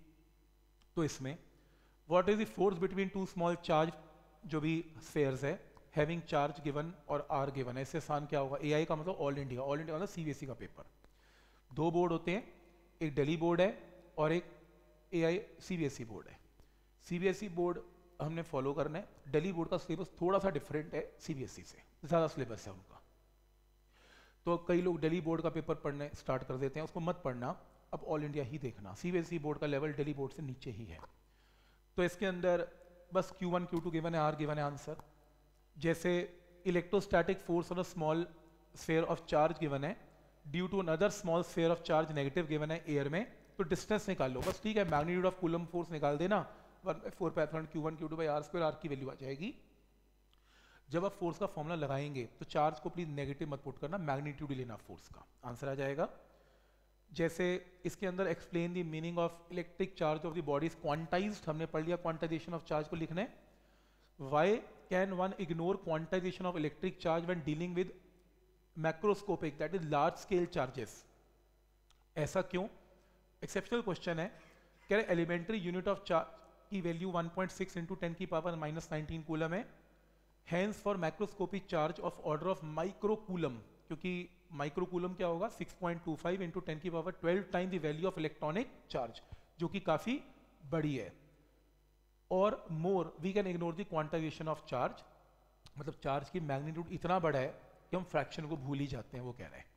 तो मतलब इतना बड़ा चार्ज है, क्योंकि मैक्रो मतलब बहुत बड़ा चार्ज है। बहुत बड़े चार्ज में बहुत छोटी फ्रैक्शन को कंसिडर नहीं किया जाता, ये लिखने की कोशिश कर रहे हैं। अदरवाइज़ ये सिल्क वाला एग्ज़ाम्पल ठीक है। अभी मैंने जो करवाया था अपनी शीट में ये एग्ज़ाम्पल की सेंटर के ऊपर फोर्स निकालो सेम एग्ज़ाम्पल है। सिस्टम के अंदर चार्जेस है Q A and Q B A और बी के ऊपर पड़े हुए हैं। What are the total charge and electric dipole moment of the system charge का मैग्नीट्यूड पता है? मैथ लगा के ए और बी से। क्या निकाल लोगे? इनके बीच में दूरी निकाल लोगे। इनकी दूरी क्या है? थर्टी। क्योंकि एक negative origin X equal to zero है। X equal to minus fifteen है X equal to plus fifteen है। तो टोटल चार्ज में दूरी क्या है? थर्टी है। तो क्यू इंटू थर्टी करके डायपोल मोमेंट आ जाएगा। तो ये क्वेश्चन है। What are the total charge in electric dipole moment of the system total charge में क्या करोगे? दोनों को ऐड करोगे नेट चार्ज आ जाएगा? ज़ीरो जैसे two insulated charged copper spheres A and B centers separated by a distance of 50 Q1 Q2 पता है, R पता है। कह रहे फोर्स निकाल दो फोर्स की वैल्यू आ गई। अब वो कह रहे हैं, इसमें mutual force of electrostatic repulsion charge की वैल्यू गिवन है। तो ए पार्ट तो बहुत आसान है। What is the force of repulsion if each sphere is charge double and distance between them is half बहुत आता है। चार्ज को डबल करेंगे न्यूमिनेटर चार हो जाएगा। टू इंटू टू फोर और डिस्टेंस को हाफ़ करेंगे, वो फोर भी ऊपर चला जाएगा, सोलह गुना ज़्यादा हो जाएगी सिक्सटीन टाइम्स हो जाएगा। तो ये सिंपल क्वेश्चन है। जैसे ये क्वेश्चन है, जिसमें ना तीन चार्जेस दे रहे हैं वो, तीन चार्जेस में पूछ रहा है कि कौन पॉजिटिव कौन नेगेटिव है। वन एंड टू नेगेटिव है थ्री इसमें पॉजिटिव है। फिर वो ये पूछ रहा है कि इसकी चार्ज टू मास रेशियो बड़ी है? जिसकी डिफ्लेक्शन सबसे ज़्यादा होगी, इसमें थ्री की डिफ्लेक्शन सबसे ज़्यादा है तो उसकी चार्ज टू मास रेशियो भी सबसे ज़्यादा है। क्योंकि डिफ्लेक्शन ज़्यादा है तो चार्ज का मैग्नीट्यूड ऑर्डर बढ़ा होगा, इसलिए वो ज़्यादा डिफ्लेक्ट हो रहा है। तो चार्ज टू मास रेशियो बढ़ी है तो डिफ्लेक्शन उतनी ज़्यादा है। ई वेक्टर गिवन है। What is the flux of this field through a square 10 centimetre on side with वही सेम चीज़ है। एक स्क्वायर शीट ले ली, उसका फ्लक्स निकालने को बोल रहे हैं one by six into Q by epsilon naught same question है। तो क्यू वाला क्वेश्चन अभी कर लिया हमने। फ्लक्स में अभी किया सेम क्वेश्चन है। ये शीट वाला क्वेश्चन कर लिया one by six times cube देखो, बार बार बार बार उन्हीं क्वेश्चंस को बार बार अलग अलग तरीके से पूछे जा रहा, कुछ भी नहीं कर रहा। अलग अलग तरीका है उस फ्लक्स को पूछने का। तो जैसे ये क्वेश्चन है infinite line charge line charge समझते हो? पहली डेरिवेशन फ्लक्स की इनफाइनाइट जो लाइन चार्ज थी लैमडा वाली। उसके अंदर आपको फ़ील्ड पता है ई e पता है आर पता है। लीनियर चार्ज डेंसिटी निकाल दो। ई e का फॉर्मूला पता है ई e का फॉर्मूला लिख लो. ई e पता है आर पता है लैमडा निकाल लो. आंसर आ गया. ठीक? ये क्वेश्चन है. शीट वाला क्वेश्चन मैंने करवा दिया आपको. प्लस माइनस कैसे करना है? एडिशनल एक्सरसाइजेज में मिलिकन का ऑयल ड्रॉप एक्सपेरिमेंट है, जिसमें एक ऑयल ड्रॉप को स्टेशनरी रखा हुआ है इलेक्ट्रिक फ़ील्ड के अंदर. तो density of the oil given है रेडियस ऑफ़ द ड्रॉप निकालो. मिलिकन के ऑयल ड्रॉप एक्सपेरिमेंट में मिलिकन ने क्या किया था? ये क्यू चार्ज इसके ऊपर क्यू चार्ज है. इलेक्ट्रिक फ़ील्ड में इसको रख दिया था. क्यू होता क्या है? वैसे Q is equal to n होता है, पर ज़रूरत नहीं है, चलो, इसमें क्यू चार्ज है और आपको इसमें 12 एक्सेस इलेक्ट्रॉन्स गिवन है। फालतू का मतलब है नेगेटिव चार्ज है। तो माइनस एन एन का मतलब यहाँ पर क्या है? 12 into one point six into ten की पावर माइनस नाइनटी ये नेगेटिव चार्ज है। हवा में स्टेशनरी है। स्टेशनरी तभी हो सकता है जब ये प्लेट नेगेटिव और ये प्लेट पॉजिटिव तो इलेक्ट्रिक फ़ील्ड कहाँ पर है? पॉजिटिव से नेगेटिव तो ये इससे जब रिपेल करेगा नेगेटिव चार्ज को तो ये वेट को बैलेंस करेगा तो क्यू वेट को बैलेंस करेगा तो ये स्टेशनरी हो जाएगा। तो मिलिकन ऑयल एक्सपेरिमेंट में एक ही क्वेश्चन है वेट को बैलेंस करना है इलेक्ट्रोस्टैटिक फोर्स ने। तो वेट कितना है? एम जी इलेक्ट्रोस्टैटिक फोर्स क्या है? क्यू और एम इसमें मास की वैल्यू क्या है? वॉल्यूम इनटू डेंसिटी यहाँ से क्या निकालना है? आर की वैल्यू आ जाएगी। कैलकुलेशन नहीं होगी आपसे, पर कोई इजी में भी क्वेश्चन आए कॉन्सेप्ट क्या रहेगा? समझ में आ रहा है कि वेट को कौन बैलेंस करेगा इसमें? इनके अंदर एनसीईआरटी की प्रॉब्लम है। पूछ रहे हैं कि कौन सा फिगर गलत है। सारी गलत है, क्योंकि पॉजिटिव पॉजिटिव पॉजिटिव है। लाइंस 90 डिग्री पे निकलनी चाहिए, नहीं निकल रही टेढ़ी मेढ़ी निकल रही हैं। प्रॉपर्टी खराब हो रही है। पॉजिटिव से शुरू होकर नेगेटिव में एंटर करनी चाहिए। पॉजिटिव से पॉजिटिव कोई लाइन नहीं जाती। ये भी गलत है। पॉजिटिव से पॉजिटिव ये स्टार्ट हो पॉजिटिव से स्टार्ट हो रहा है पॉजिटिव से स्टार्ट हो रहा है। ये मुझे फिर भी बुरी नहीं लग रही। सी ऑप्शन देख लें। हाँ ठीक है। सी ठीक है। सी ठीक है इनफाइनाइट तक जा रही है। Positive to infinity positive to infinity intersect कर रही है इंटरसेक्ट तो करती नहीं है। क्लोज लूप बनाती नहीं है। क्लोज लूप बन रही है क्लोज लूप तो बन नहीं सकती तो ये भी गलत है। जैसे आपको कहेगा कि एक कैविटी है, ये कंडक्टिंग शेल कंडक्टिंग बॉडी है, इसके अंदर कैविटी खाली है। और आपको ये कह रहा है कि मान लो इस पूरी आउटर बॉडी के ऊपर क्यू चार्ज है show that entire charge must appear on the outer surface of the conductor पूरा का पूरा चार्ज आउटर होगा, ये बताओ। क्योंकि ये कंडक्टर है चार्ज अंदर स्टे कर नहीं सकता तो चार्ज कहाँ पर जाएगा? बाहर जाएगा। और अगर ये चार्ज कितना है? स्मॉल क्यू पॉइंट चार्ज रख दिया इसमें स्मॉल क्यू तो आउटर चार्ज क्या हो जाएगा? बाई इंडक्शन अगर ये स्मॉल क्यू है तो ये माइनस क्यू तो ये प्लस क्यू तो आउटर के ऊपर चार्ज क्या हो जाएगा? क्यू प्लस क्यू हो जाएगा। नेक्स्ट है ये डेरिवेशन अगली बुकलेट में आती है कि किसी भी कंडक्टर के आसपास ई e का formula sigma by two epsilon proof किया जाए। और ये परपेंडिकुलर टू सरफेस कंडक्टर होता है, ये भी प्रूफ किया जाए। अभी करवाऊँगा मैं इसे। नेक्स्ट इसमें गॉस लॉ की डेरिवेशंस इंपॉर्टेंस शो की हुई है। क्या इसकी इंपॉर्टेंस है? इसके अंदर ये ऑब्जेक्टिव पोर्शन देख रहे हो केस स्टडी ऑब्जेक्टिव देख रहे हो। इसमें अर्जर्शन टाइप भी है। अब याद करो संडे को टेस्ट होते थे हमारे। पूरा साल, जितने भी एनसीआरटी के हुए, मैंने पूरा यूलाई कर कवर करवा दिया आपका। वो एक्चुअल संडे के टेस्ट नहीं थे, वो यूलाई का सैंपल पेपर ही था। आपके एक एक घंटे के अंदर जो सैंपल पेपर दिया गया टेस्ट दिए गए, वो पूरा सैंपल कवर्ड है। तो आप पुराने पेपर कर लें, या ये ऑब्जेक्टिव और इसके एजर्शन कर लें, या फिल इन दी ब्लैंक्स देता था, वो सारे के सारे यही थे। कई सैंपल पेपर हैं, जिसमें से यूलाइक में से, या अरिहंत में से, या फिर वो जो एग्ज़ाम आइडिया उनमें से आपके पेपर आते थे। तो मुझे पता ही था एंड में कवर नहीं होंगे तो मैंने स्टार्ट स्टार्टिंग में धीरे धीरे कवर करने स्टार्ट कर दिए थे। तो पुराने पेपर का प्रिंट आउट ले लेंगे, अगर पढ़े होंगे तो आप देख सकते हैं सेम ही है। ठीक है? तो ये तो आप रिवाइज ही करेंगे, इसका तो क्या ही करेंगे? और ऑब्जेक्टिव तो वैसे भी कोई क्या तैयारी करवाएगा? वो तो आपकी प्रॉपर्टीज़ के ऊपर ही क्वेश्चन आना है। इसके बाद जो नेक्स्ट है, इसके अंदर ये सारा किया हुआ है। इसमें याद है, एक क्वेश्चन वो भी देता था मैं पैराग्राफ टाइप वो सारे यही तुम्हें हर सैंपल पर सारे कवर्ड ही हैं ऑलरेडी सारे जितने भी पैराग्राफ थे, सारे डाल रखे हैं आपको। तो पुराने टेस्ट पेपर रिवाइज कर लेना, सारे चैप्टर्स के जितने भी हुए, वो सब इसी में से मिलने वाले हैं आपको। ठीक? अगर नहीं है तो मैं अपलोड कर दूँगा, इसमें से चेक कर लेना। एक ही बात है। ये के, ये ये फिल इन दी ब्लैक्स में डाला करता था। ये सेम यहीं से थे। ट्रू एंड फॉल्स थे। ये सारे का वर्ड है। ठीक है? अब जाते हुए बता सकता हूँ, पहले नहीं बता सकता था कि कहाँ से डलते थे। ठीक? चलो मोटिव ये था कि सैम पेपर कवर्ड हो जाए और कुछ नहीं था। तो वेरी शॉर्ट आंसर्स के अंदर जैसे ये रहा इलेक्ट्रोस्टैटिक फ़ील्ड लाइंस ड्रॉ करें पॉजिटिव एंड नेगेटिव तो बना लेंगे पॉजिटिव से स्टार्ट होकर नेगेटिव पे खत्म होना है। तो इस टाइप की एक क्वेश्चन है। मतलब कहने का मतलब आपने एक फ्रीक्वेंसी देख ली फ्रीक्वेंसी दिखा रहा हूँ कि किस टाइप की प्रॉब्लम आती हैं। इस फ्रीक्वेंसी के साथ अगर आप कोई भी पेपर उठाएँ, मान लो 2019 का, कोई पाँच सात पेपर्स हैं मेरे पास इस साल का नहीं है 2023 का आप एक बार कहीं से ले लें। तो जैसे कोई भी देख लेते हैं, कोई क्वेश्चन पहला ओपनिंग ये इलेक्ट्रोस्टैट से करता है। तो आपको ऐसे क्वेश्चन बहुत मिलेंगे। दो आइडेंटिकल कंडक्टिंग बॉल्स हैं A and B have charge minus Q and three Q respectively they are brought in contact with each other and separated D distance apart क्या सिखाया था? जब चार्ज पास के बॉडीज को सेपरेट करते हैं तो चार्ज एवरेज आउट हो जाता है। सेम कॉन्सेप्ट लग रहा है इसमें। तो एवरेज आउट हो जाएगा। तो आपको बताना है नेचर ऑफ़ कूलम फोर्स क्या होगी? आप देख लेना अट्रैक्टिव रिपल्सिव जो भी होगी सेम नेचर ऑफ़ चार्ज आएगा सेम ही आएगा। एवरेज आउट करोगे तो सेम इक्वल चार्ज होगा तो रिपल्सिव ही होगी। जैसे, या, एक शेल है R one R two radius है क्यू सेंटर पे रखा गया है सिग्मा निकाल। लो तो हमने ऐसा किया था, अभी दिखाऊँगा शीट के अंदर भी। अगर ये क्यू बाई इंडक्शन ये क्या होगा? माइनस क्यू बाई इंडक्शन ये प्लस क्यू तो इसका सिग्मा क्या होगा? Minus Q by four pi R one square इसका सिग्मा क्या होगा? Q point four pi R two square right? जैसे नेक्स्ट है, ये इलेक्ट्रिसिटी का है, ये ड्यूल नेचर का है, ये रहा। सेक्शन बी में अप्लाई गॉस लॉ किसके लिए? स्फेरिकल शेल का ई e निकालना है, सीधी डेरिवेशन है। ठीक है? तो स्फेरिकल शेल का ई e भी आ गया, और शीट की प्रॉब्लम आ गई, जो मैंने आपको बताई। शीट की प्रॉब्लम आ गई। नेक्स्ट है, ये मैग्नेटिक है। ये E M waves optics optics electricity metre bridge modern physics galvanometer ammeter conversion of galvanometer पे आया हुआ है।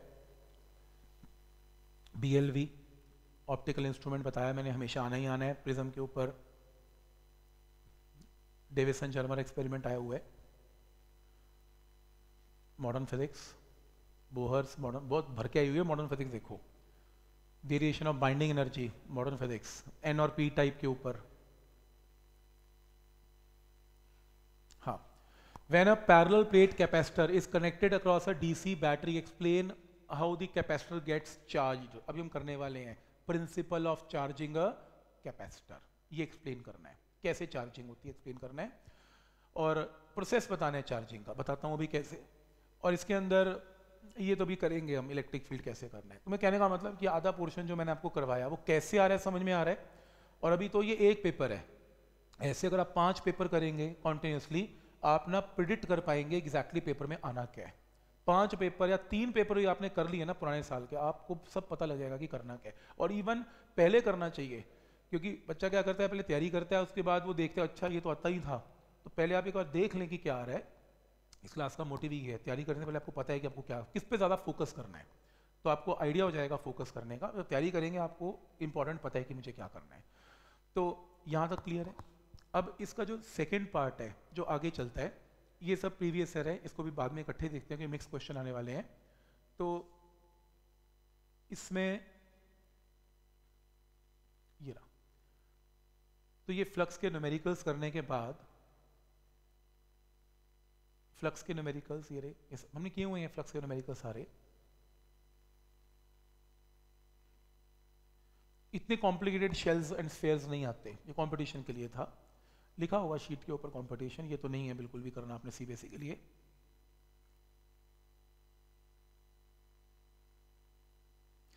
सॉलिड एंगल नहीं करना सीबीएसई e में नहीं आता। इलेक्ट्रिक प्रेशर इलेक्ट्रिक प्रेशर को लेके एक डेरिवेशन है कि एक कंडक्टर के कोई भी पॉइंट अगर आप पास लेते हैं, किसी भी कंडक्टर के पास कोई पॉइंट है तो ई e का फॉर्मूला क्या है? Sigma sigma by epsilon naught तो ये रिज़ल्ट आपको एक बार देखना है कि अगर आपके पास कोई भी एक कंडक्टर है, इस कंडक्टर के पास कोई पॉइंट है, देखो इसको बोलते हैं, ये नहीं है कि बहुत दूर ले जाएँगे, बहुत नियर कोई पॉइंट है तो उसका फॉर्मूला ई e का कंडक्टर का sigma by epsilon naught है। इसका प्रूफ अगर आ जाए तो क्या करना है आपने? एक इमेजिनरी कोई भी क्लोज बॉडी बना लेनी है, जैसे मैंने सिलेंडर बना ली। तो यहाँ पे अगर आप ई e निकालना चाहते हो तो अपने मन में सोचें, यहाँ पर ई प्लस वन है। तो ये प्लस इस प्लस को क्या करेगा रिपेल और इसका फ्लक्स क्या होगा? इस एरिया का E into area curve surface का तो फ्लक्स होगा ही नहीं। और इसका तो बिल्कुल भी नहीं होगा, क्योंकि कंडक्टर के सरफेस के ऊपर चार्ज है, अंदर तो चार्ज हो ही नहीं सकता। तो सिर्फ़ फ्लक्स क्या आएगा? ई इंटू एरिया और फ्लक्स होता क्या है? इस क्लोज बॉडी के अंदर कितना चार्ज है? अंदर कितना चार्ज है? सिर्फ़ इतने पोर्शन का चार्ज लेना है। क्लोज बॉडी के अंदर सिर्फ़ यही पोर्शन आता है इस बॉडी का। तो ये चार्ज है कितना? सिग्मा इंटू एरिया मान लो इसका एरिया ए लिया आपने। तो एरिया से एरिया कट गया तो आंसर क्या आ गया? सिग्मा बाय एप्सिलॉन नॉट ये तो पहला रिज़ल्ट है। तो सिग्मा बाय एप्सिलॉन नॉट अब इसमें आपको पेपर में क्या आएगा? इलेक्ट्रिक प्रेशर इलेक्ट्रिक प्रेशर तो नहीं आएगा। यही आएगा, अगर आएगा। सिग्मा बाय एप्सिलॉन नॉट ये इंपॉर्टेंट है। ठीक? अच्छा नेक्स्ट है electrostatic potential and potential energy electrostatic potential and potential energy दो बजे करना डिस्कशन है, छुट्टी के बाद। ठीक है तो नेक्स्ट जो टॉपिक है, इसमें ना कोई थ्योरीज कि भाई कैसे पोटेंशियल निकला, कैसे पोटेंशियल एनर्जी निकली, ये नहीं आता।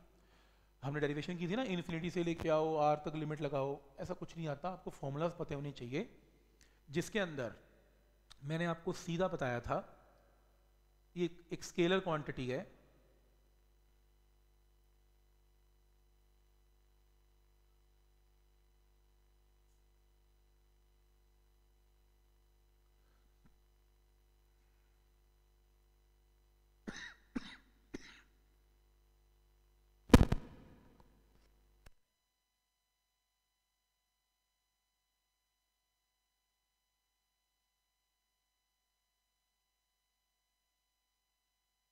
ये बताया था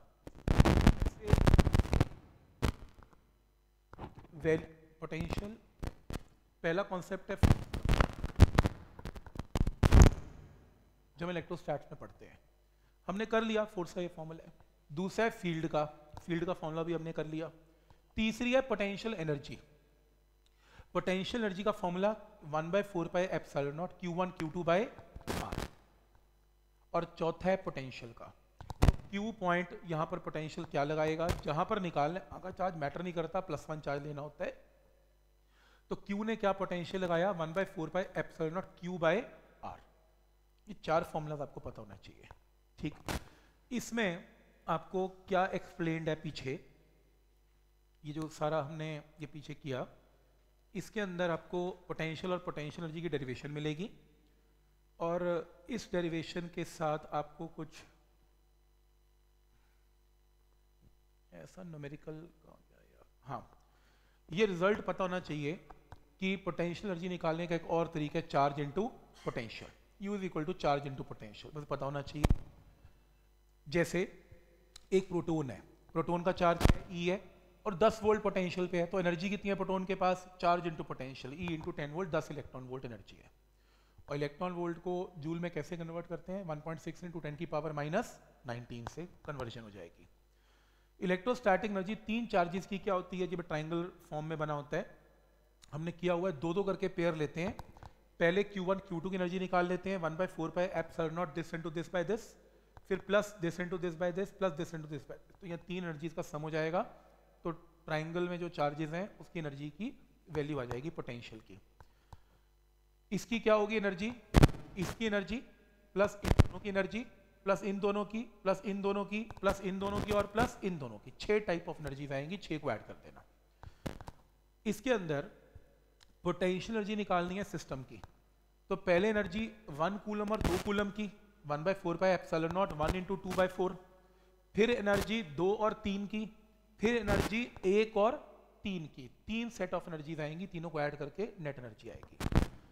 ज़्यादातर जो क्वेश्चन आता है, वो ऐसा आता है, इसमें शायद मैंशन ही होगा। चलो, आ जाएगा अभी। पोटेंशियल डिफरेंस निकालने के तीन तरीके। पहला तरीका वर्क डन जो भी एक्सटर्नल का वर्क डन है पर यूनिट चार्ज दूसरा तरीका minus E dot D R R one से आर टू तक। और तीसरा तरीका V two minus V one ये तीन तरीकों से आप पोटेंशियल डिफरेंस की वैल्यू को निकाल सकते हैं। तो तीन डेफिनेशन हैं। इस पर इसको अप्लाई कैसे करना है? और हाँ अगर पोटेंशियल की डेफिनेशन लिखनी हो पोटेंशियल डिफरेंस में क्या करते थे? R1 से R2 पोटेंशियल में इन्फिनिटी से R, क्योंकि पोटेंशियल के अंदर चार्ज को इमेजनरी कहाँ से लाया जाता है? From infinity to R. Next है इसमें, अब जैसे इसमें करके दिखाया है। पोटेंशियल डिफरेंस को कैलकुलेट करने के तीन तरीके बताए। उनमें से पहला तरीका न्यूमेरिकल या तो ऐसा आएगा कि आपको ना वो कहेगा कि क्यू चार्ज है जैसे 10 कूलम चार्ज है ए और बी दो पॉइंट्स हैं ए और बी का पोटेंशियल डिफरेंस निकाल दें। अब सिंपली कुछ नहीं करेंगे। 10 कूलम तीन मीटर दूर इतना वी लगा रहा है और 10 कूलम पाँच मीटर दूर इतना वी लगा रहा है, दोनों को माइनस करके पोटेंशियल डिफरेंस सबसे आसान न्यूमेरिकल ये है। दूसरे टाइप की प्रॉब्लम है, सबसे ज़्यादा ये आती है कि आपके पास अगर मान लो ये तीन कूलम का चार्ज है और आपके पास तीन कूलम का चार्ज है और दो पॉइंट्स हैं ए एंड बी और कोई इमेजिनरी चार्ज है इमेजिनरी चार्ज का टेस्ट चार्ज है, जिसको उठा के आप यहाँ से यहाँ लेके आ रहे हैं तो अमाउंट ऑफ़ वर्क डन कितना किया आपने? तो पोटेंशियल डिफरेंस का कॉन्सेप्ट क्या है?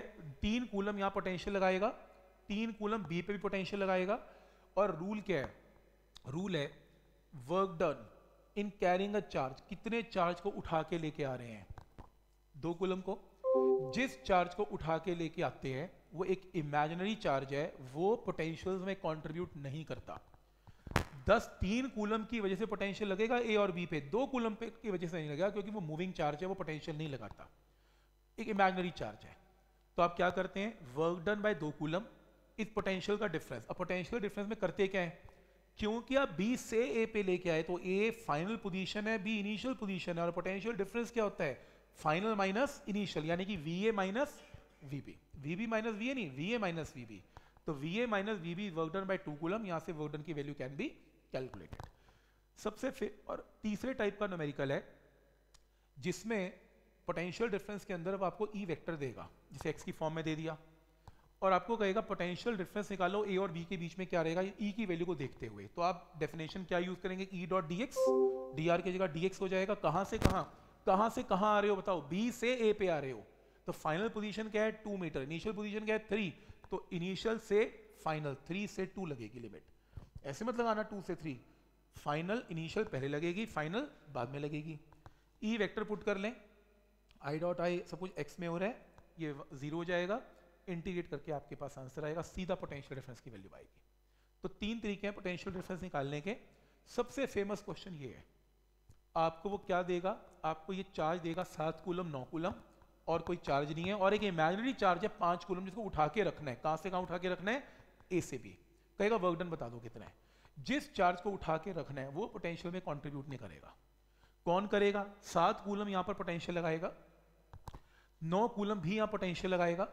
वी ए निकाल लेना तो वी ए की वैल्यू निकाल लेना, नौ और सात की वजह से आएगी। फिर बी पॉइंट पे चार्ज को लेके आ रहे हैं। सात कूलम यहाँ पर वी लगाएगा। नौ कूलम यहाँ पे वी लगाएगा तो वी बी की वैल्यू भी आ जाएगी। तो वी ए वी बी में कौन कॉन्ट्रीब्यूट कर रहा है? नौ और सात कूलम कर रहे हैं। तो आप चार्ज को ए से बी पे लेके आ रहे हैं तो रूल क्या है? Work done in carrying a charge of five coulomb potential difference potential difference में फाइनल माइनस इनिशियल क्योंकि फाइनल कौन है? बी इनिशियल कौन है? ए मल्टीप्लाई करके यहाँ से वर्कडन की वैल्यू आ जाएगी। मेथड समझ में आ रहा है कि कैसे करना है इसमें? तो इस टाइप की प्रॉब्लम इंपॉर्टेंट है। अच्छा ये तो चलो कंपटीशन का है। Potential at any point due to electric dipole ये भी क्या पता आई जाए, बड़ी बात नहीं है। तो एनी पॉइंट में क्या होगा, एक डायपोल लेना है। Dipole minus Q plus Q है और सेपरेट सेपरेशन इनके बीच में कितना है टू है। तो एनी पॉइंट कहाँ से लेंगे? सेंटर से। सारे डिस्टेंसेस डाइपोल के कहाँ से ले जाते हैं? फ्रॉम सेंटर से। तो सेंटर से थीटा एंगल पर आर डिस्टेंस पे यहाँ पर वी निकालना है। तो आप एक काम करें आर डिस्टेंस पे अगर आपको वी निकालना है तो एक ना, ये डायपोल ना बहुत छोटा होता है। तो कंस्ट्रक्शन है। आप एक परपेंडिकुलर यहाँ ड्रॉ करें और एक यहाँ ड्रॉ करें। ये ए है, ये थीटा थीटा तो ये ए कॉस थीटा ऐसे ये थीटा ये ए तो ये ए कॉस थीटा तो आप क्या करेंगे? इसमें अप्रोक्सीमेटली देखो आर टू को अप्रोक्सीमेटली लिखेंगे इतने, यहाँ डिस्टेंस तक बस। और आर वन को अप्रोक्सीमेटली लिखेंगे यहाँ से लेके यहाँ तक। तो मतलब आर वन की वैल्यू क्योंकि क्योंकि देखो, इसमें होने क्या वाला है? इसके अंदर जो V निकालना है, उसमें कंट्रीब्यूट कौन करेगा? Q करेगा और माइनस Q करेगा। V में कंट्रीब्यूट Q कितना करेगा? One by four by epsilon naught Q divided by R two और ये कितना करेगा? One by four by epsilon naught minus Q divided by R one तो ये लिख लिया आपने। आर वन आर टू की वैल्यू को रिप्लेस करने जा रहे हैं कैसे? मैंने ये कहा कि अप्रोक्सीमेटली ये जो डिस्टेंस है अप्रोक्सीमेटली इसके इक्वल ले लिया जाएगा। क्योंकि डिस्टेंस आर है आर में से एक कॉस्थीटा गया तो क्या बचा? R minus A cos theta तो आर टू की value approximately A minus R cos theta ली जाएगी। सिमिलरली ये जो डिस्टेंस है, ये जो डिस्टेंस है, ये इसके इक्वल लिया जाएगा। तो यानी कि R1 की वैल्यू ये कितना है? यहाँ से ये जो वैल्यू है, ये कितनी है? ये R है, और प्लस क्या हो जाएगा? ए कॉस थीटा तो बस ये रिप्लेस कर देना। R1 R2 की वैल्यूज़ यहाँ पुट कर देना। सिंप्लीफाई कर लेना, Q इंटू टू ए को P पुट कर लेना आंसर आ जाएगा। तो एनी पॉइंट पे पोटेंशियल कैसे निकलेगा पॉइंट समझ में आ रहा है? नेक्स्ट है इसमें इसके अंदर जैसे प्रूव करो E is minus D V by ठीक है? या फिर प्रूव करने को आएगा electric field intensity E is negative of potential gradient potential gradient क्या होता है? डी आर तो इसके अंदर मान लेते हैं ये ई वेक्टर राइट है और आप मान लो आपके डिस्प्लेसमेंट कहाँ पर है? डी आर वेक्टर और दोनों के बीच में एंगल क्या है? थीटा तो इसमें डीवी का फॉर्मूला भी करवाया था मैंने। स्मॉल पोटेंशियल डिफरेंस क्या होता है? Minus E dot D R और टोटल पोटेंशियल डिफरेंस क्या होता है? इनकी इंटीग्रेशन इंटीग्रेशन हटा दोगे स्मॉल पोटेंशियल डिफरेंस तो फ़र्स्ट फिगर में ई e और डी आर में एंगल क्या है? थीटा तो यहाँ से डीवी को नीचे ले आओ डी आर तो एक्चुअल फॉर्मूला पता है क्या होता है? Actual formula E cos theta minus DV by D R actual formula ये है। पर लेकिन ज़्यादातर हमारे केस में क्या होता है ई e और डी आर एक ही लाइन में होते हैं। एक ही लाइन में होने की वजह से एंगल इनके बीच में क्या होता है ज़ीरो तो फॉर्मूला क्या बनेगा? E is equal to minus D V by T R ये प्रूव करना है आपको। ठीक? इसको लगाना कैसे है? लगाने का तरीका E is minus D V क्योंकि एक्स एक्सिस में कर रहे हैं तो D V by D X हो जाएगा वाई में चल रहा है D V by D Y हो जाएगा।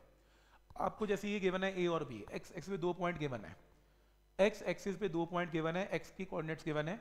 आपको पता है कि यहाँ पर और यहाँ का potential V A V B की वैल्यू गिवन है। तो अब आप एक काम करें, ये फॉर्मूला लगा के ई e की वैल्यू निकाल लें। आप एक काम करें, आप इमेजिन करें कि आप ना ए से बी पे जा रहे हैं। इमेजिन करें, आप ए से बी पे जा रहे हैं। तो यानी कि ये पॉइंट आपका कौन सा पॉइंट है? फाइनल और ये क्या पॉइंट है? इनिशियल पोटेंशियल डिफरेंस क्या होगा? 12 में से 15 गया। 12 माइनस पंद्रह न्यूमिनेटर डीवी की जगह। और डिस्टेंस dx की जगह क्या होगा? Final coordinate minus initial coordinate पाँच में से दो क्या? अपने आप ई e की वैल्यू आ जाएगी। ठीक है? तो कैसे लेना समझ में आ रहा है? फाइनल माइनस इनिशियल ऊपर भी फाइनल माइनस इनिशियल नीचे भी अपने आप आंसर आ जाएगा। ये नहीं करना। कंपटीशन पार्शियल डेरिवेटिव कंपटीशन के लिए था सारा। ये कुछ नहीं करना। इक्वी पोटेंशियल सरफेस पे पक्का कोई क्वेश्चन आएगा। एक नंबर में आया, दो नंबर में आया, मुझे मालूम नहीं है, पर आएगा। इक्वी पोटेंशियल सरफेस वो इमेजनरी सरफेस है या एक्चुअल सरफेस है, जिनके किसी भी पॉइंट पर पोटेंशियल सेम होता है। इक्वी पोटेंशियल सरफेस की क्या प्रॉपर्टी है? पहली प्रॉपर्टी कि ई e वेक्टर इसके परपेंडिकुलर होता है हमेशा, और work done in carrying a charge from A to B is always zero क्योंकि work done in carrying a charge को क्या बोलते हैं? पोटेंशियल डिफरेंस क्योंकि पोटेंशियल क्योंकि पोटेंशियल की वैल्यू हर सरफेस के पॉइंट पर क्या रहेगी? सेम तो पोटेंशियल डिफरेंस की वैल्यू क्या रहेगी? ज़ीरो तो work done in carrying charge की वैल्यू भी क्या रहेगी? ज़ीरो ये पहली प्रॉपर्टी है इसकी। दूसरी पेपर में आएगा draw an equipotential surface for a point charge ये बहुत आता है।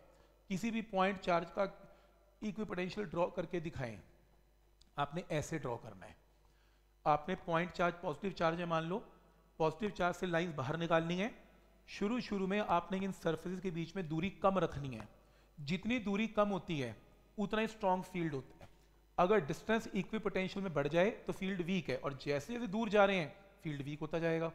तो आपने शुरू में कंसेंट्रिक सर्कल्स या स्फेयर्स बनाने हैं, शुरू में टाइट रखने हैं स्पेसिंग कम करनी है, फिर स्पेसिंग बढ़ाते जानी है। क्या ये पॉइंट क्लियर है यहाँ तक? विदाउट इसमें? तो ये डायग्राम में ड्रॉ करना है, ठीक? इसकी प्रॉपर्टीज़ पे क्वेश्चन आएँगे। पहली प्रॉपर्टी है, कोई वर्क डन नहीं लगता किसी भी चार्ज को कैरी करने में ए पॉइंट से बी पॉइंट पे इक्वी पोटेंशियल में। क्योंकि पोटेंशियल डिफरेंस इटसेल्फ क्या हो जाता है इसमें? ज़ीरो क्योंकि E dot D L work done होता है, या E dot D L potential difference होता है, और पोटेंशियल डिफरेंस की वैल्यू यहाँ पर ज़ीरो है तो ई e और डी एल में एंगल क्या रहेगा? 90 यानी कि सरफेस डी एल का मतलब इक्वी पोटेंशियल सरफेस के ऊपर कोई डी एल डिस्टेंस है, और ई वेक्टर 90 डिग्री में है तो इक्वी पोटेंशियल सरफेस के साथ इलेक्ट्रिक फ़ील्ड एंगल हमेशा क्या बनाएगा? 90 डिग्री ही बनाएगा. ये सेकेंड प्रॉपर्टी है. इक्वी पोटेंशियल सरफेस में D R inversely proportional to E है। मतलब जहाँ इलेक्ट्रिक फ़ील्ड स्ट्रॉन्ग है, जहाँ ई e स्ट्रॉन्ग है, वहाँ डी आर छोटा बनाना है स्पेसिंग कम करनी है। और जहाँ ई e वीक है कम है वहाँ स्पेसिंग ज़्यादा रखनी है। नेक्स्ट है equipotential surface tell the direction of electric field जहाँ स्पेस स्पेसिंग कम से ज़्यादा होती जा रही है, हमारा इलेक्ट्रिक फ़ील्ड भी वहीं जा रहा है। देखो ना यहाँ पे स्पेसिंग जो है कहाँ से कहाँ जा रही है? कम है, फिर बढ़ती जा रही है। तो इलेक्ट्रिक यानी कि यहाँ पे फ़ील्ड स्ट्रॉन्ग है, यहाँ पर फ़ील्ड वीक है। तो इलेक्ट्रिक फ़ील्ड कहाँ से कहाँ जा रहा है? स्ट्रॉन्ग से वीक तो डायरेक्शन भी बताता है इलेक्ट्रिक फ़ील्ड की है क्वेश्चन आया हुआ है कि बताओ सीबीएसई में आया हुआ है, दो इक्वी पोटेंशियल सरफेस आपस में इंटरसेक्ट क्यों नहीं करते? तो ये सेम रूल है, अगर मान लें वो इंटरसेक्ट करते हैं तो एक 10 वोल्ट की है एक 12 वोल्ट की इक्वी पोटेंशियल है और अगर वो इंटरसेक्ट करते हैं तो कॉमन पॉइंट आएगा और एक पॉइंट पर 10 या 12 वोल्ट, दो इकट्ठे वोल्ट तो हो नहीं सकते। तो इसलिए कभी इंटरसेक्ट करते नहीं, क्योंकि दो वैल्यूज़ ऑफ़ वी हो नहीं सकती। ठीक है? तो प्रॉपर्टीज़ के ऊपर क्वेश्चन आएगा। Electrostatic force conservative in nature है। कंजर्वेटिव का मतलब क्या होता है? कि अगर मैं वर्क डन करूँ in carrying a charge from A to B वो वर्क डन की वैल्यू इनिशियल और फाइनल पोजिशन में डिपेंड करेगी पाथ पे डिपेंड नहीं करेगी। तो ये डेरिवेशन है। चांस कम है, आई नहीं कभी वैसे बताऊँ एक बार देख लेना लेकिन। देख के सारा कुछ जाना है, मेरे पे विश्वास नहीं करना बिल्कुल भी, अपने पे और पुराने पेपर पे करना। मैं कुछ भी बोलूँ, ये आएगा, नहीं आएगा, बस मेरे को कोट नहीं करना, ठीक है? सारी तैयारी खुद करके जानी है। मैं प्रोबेबिलिटी बता सकता हूँ, अपने एक्सपीरियंस से बता सकता हूँ, लेकिन प्रिडिक्ट नहीं कर सकता पेपर में क्या आएगा, ठीक? तो प्रॉपर्टी याद करनी है कि किसी भी चार्ज को अगर आप इलेक्ट्रिक फ़ील्ड में घुमा के एक पॉइंट से उसी पॉइंट पर वापस ले आए तो नेट अमाउंट ऑफ़ वर्कडन क्या होता है? ज़ीरो कंजर्वेटिव में ज़ीरो रहता है, ये इंपॉर्टेंट प्रॉपर्टी है। नेक्स्ट है इसमें पोटेंशियल के एग्जाम्पल्स हैं।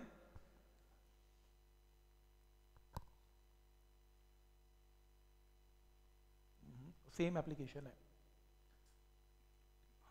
नहीं करना नहीं करना। रिंग का एग्जांपल नहीं करना डिस्क का नहीं करना। ये सब कंपटीशन की प्रॉब्लम्स है सारी।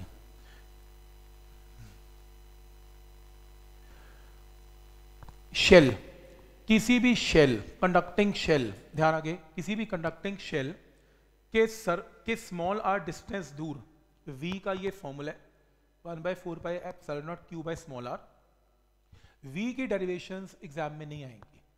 E की आती हैं ई e सिलेबस में, v का न्यूमेरिकल पूछ सकता है बट डेरिवेशन नहीं है। हालाँकि हमने की हुई है बट ज़रूरत नहीं है।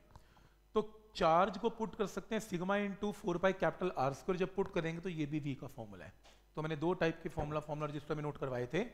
तो वी के दोनों फॉर्मूला तो अगर सरफेस की बात करते हैं सरफेस पे स्मॉल आर को कैपिटल आर पुट कर देंगे। और अगर अंदर बात करते हैं, किसी भी शेल के अंदर वी कांस्टेंट होता है, जितना सरफेस पे उतना ही अंदर सेम होता है। सरफेस पे भी क्या होता है? One by four by epsilon naught Q by capital R तो अंदर भी क्या रहेगा? किसी पॉइंट पर रिमेन सेम ग्राफ मार्क करने को आएगा। शेल के अंदर वी कांस्टेंट और बाहर inversely proportional to small R है। तो ये इंपॉर्टेंट है। ये नहीं करना। ये कॉम्प्लिकेटेड है, कुछ नहीं करना आपने इसमें। शेल प्रॉब्लम्स नहीं करनी। ये इतनी कॉम्प्लिकेटेड शेल प्रॉब्लम नहीं आती। काफ़ी डिटेल में क्यों ही अर्थिंग उर्थिंग लगा के हमने क्यों ही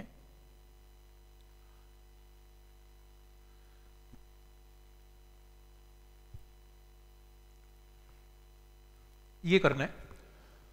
क्वेश्चन है in an experiment N small drop of same size are charge to a potential of V volt each तो छोटा स्फेयर है, उसके ऊपर वी पोटेंशियल है स्मॉल आर रेडियस है।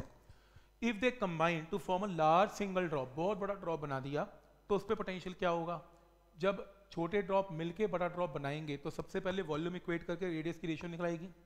फिर आपने छोटे ड्रॉप का पोटेंशियल क्या लिया? V one by four by epsilon naught Q by small R बड़ा ड्रॉप जब बढ़ेगा तो चार्ज एडिटिव है।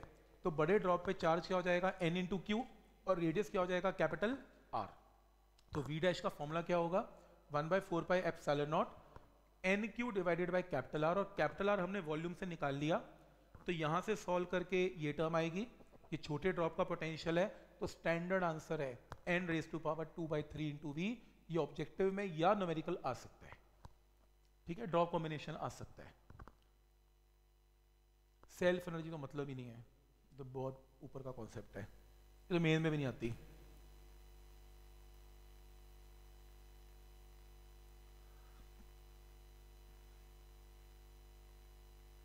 ठीक है। नेक्स्ट है कैपेसिटर कैपेसिटर के अंदर बेसिकली क्या है? चार्ज स्टोर करने के डिवाइस कैपेसिटर सारी कहानी ठीक है। अब डिटेल तो है नहीं बताने के लिए, इतनी लंबी स्टोरी है तो। तो इसमें कैपेसिटेंस का फॉर्मूला क्यू बाई वी ये याद रखेंगे। और इसमें ये याद रखेंगे कि अगर किसी भी कंडक्टर को हम इलेक्ट्रिक फ़ील्ड में रख दें तो किसी भी कंडक्टर के अंदर ई e क्या रहता है? ज़ीरो चाहे उसको इलेक्ट्रिक फ़ील्ड में रखा, तब भी ई e ज़ीरो है। मतलब यहाँ पर ये पॉजिटिव ये बाई इंडक्शन नेगेटिव हो जाएगा। बाई इंडक्शन ये पॉजिटिव और ये नेगेटिव हो जाएगा। तो इलेक्ट्रिक फ़ील्ड आपको इस रीजन में तो दिखेगा, पर आपको इसमें नहीं दिखेगा। ठीक है इसमें नहीं दिखेगा। इसमें ई ज़ीरो रहता है। तो ये इसकी प्रॉपर्टी है। नेक्स्ट जो इसकी प्रॉपर्टी है, यहाँ से शुरू करेंगे। कैपेसिटर एक स्फेयर का एक स्फेरिकल कंडक्टर उसकी कैपेसिटेंस क्या होगी? फॉर्मूला स्फेयर का पोटेंशियल क्या होता है? One by four by epsilon naught sphere का charge by capital R simple sphere है ये। तो C is equal to Q by V V की जगह पुट किया सॉल्व करके सी की वैल्यू आ गई। आंसर आ गया। ठीक है, यहाँ तक।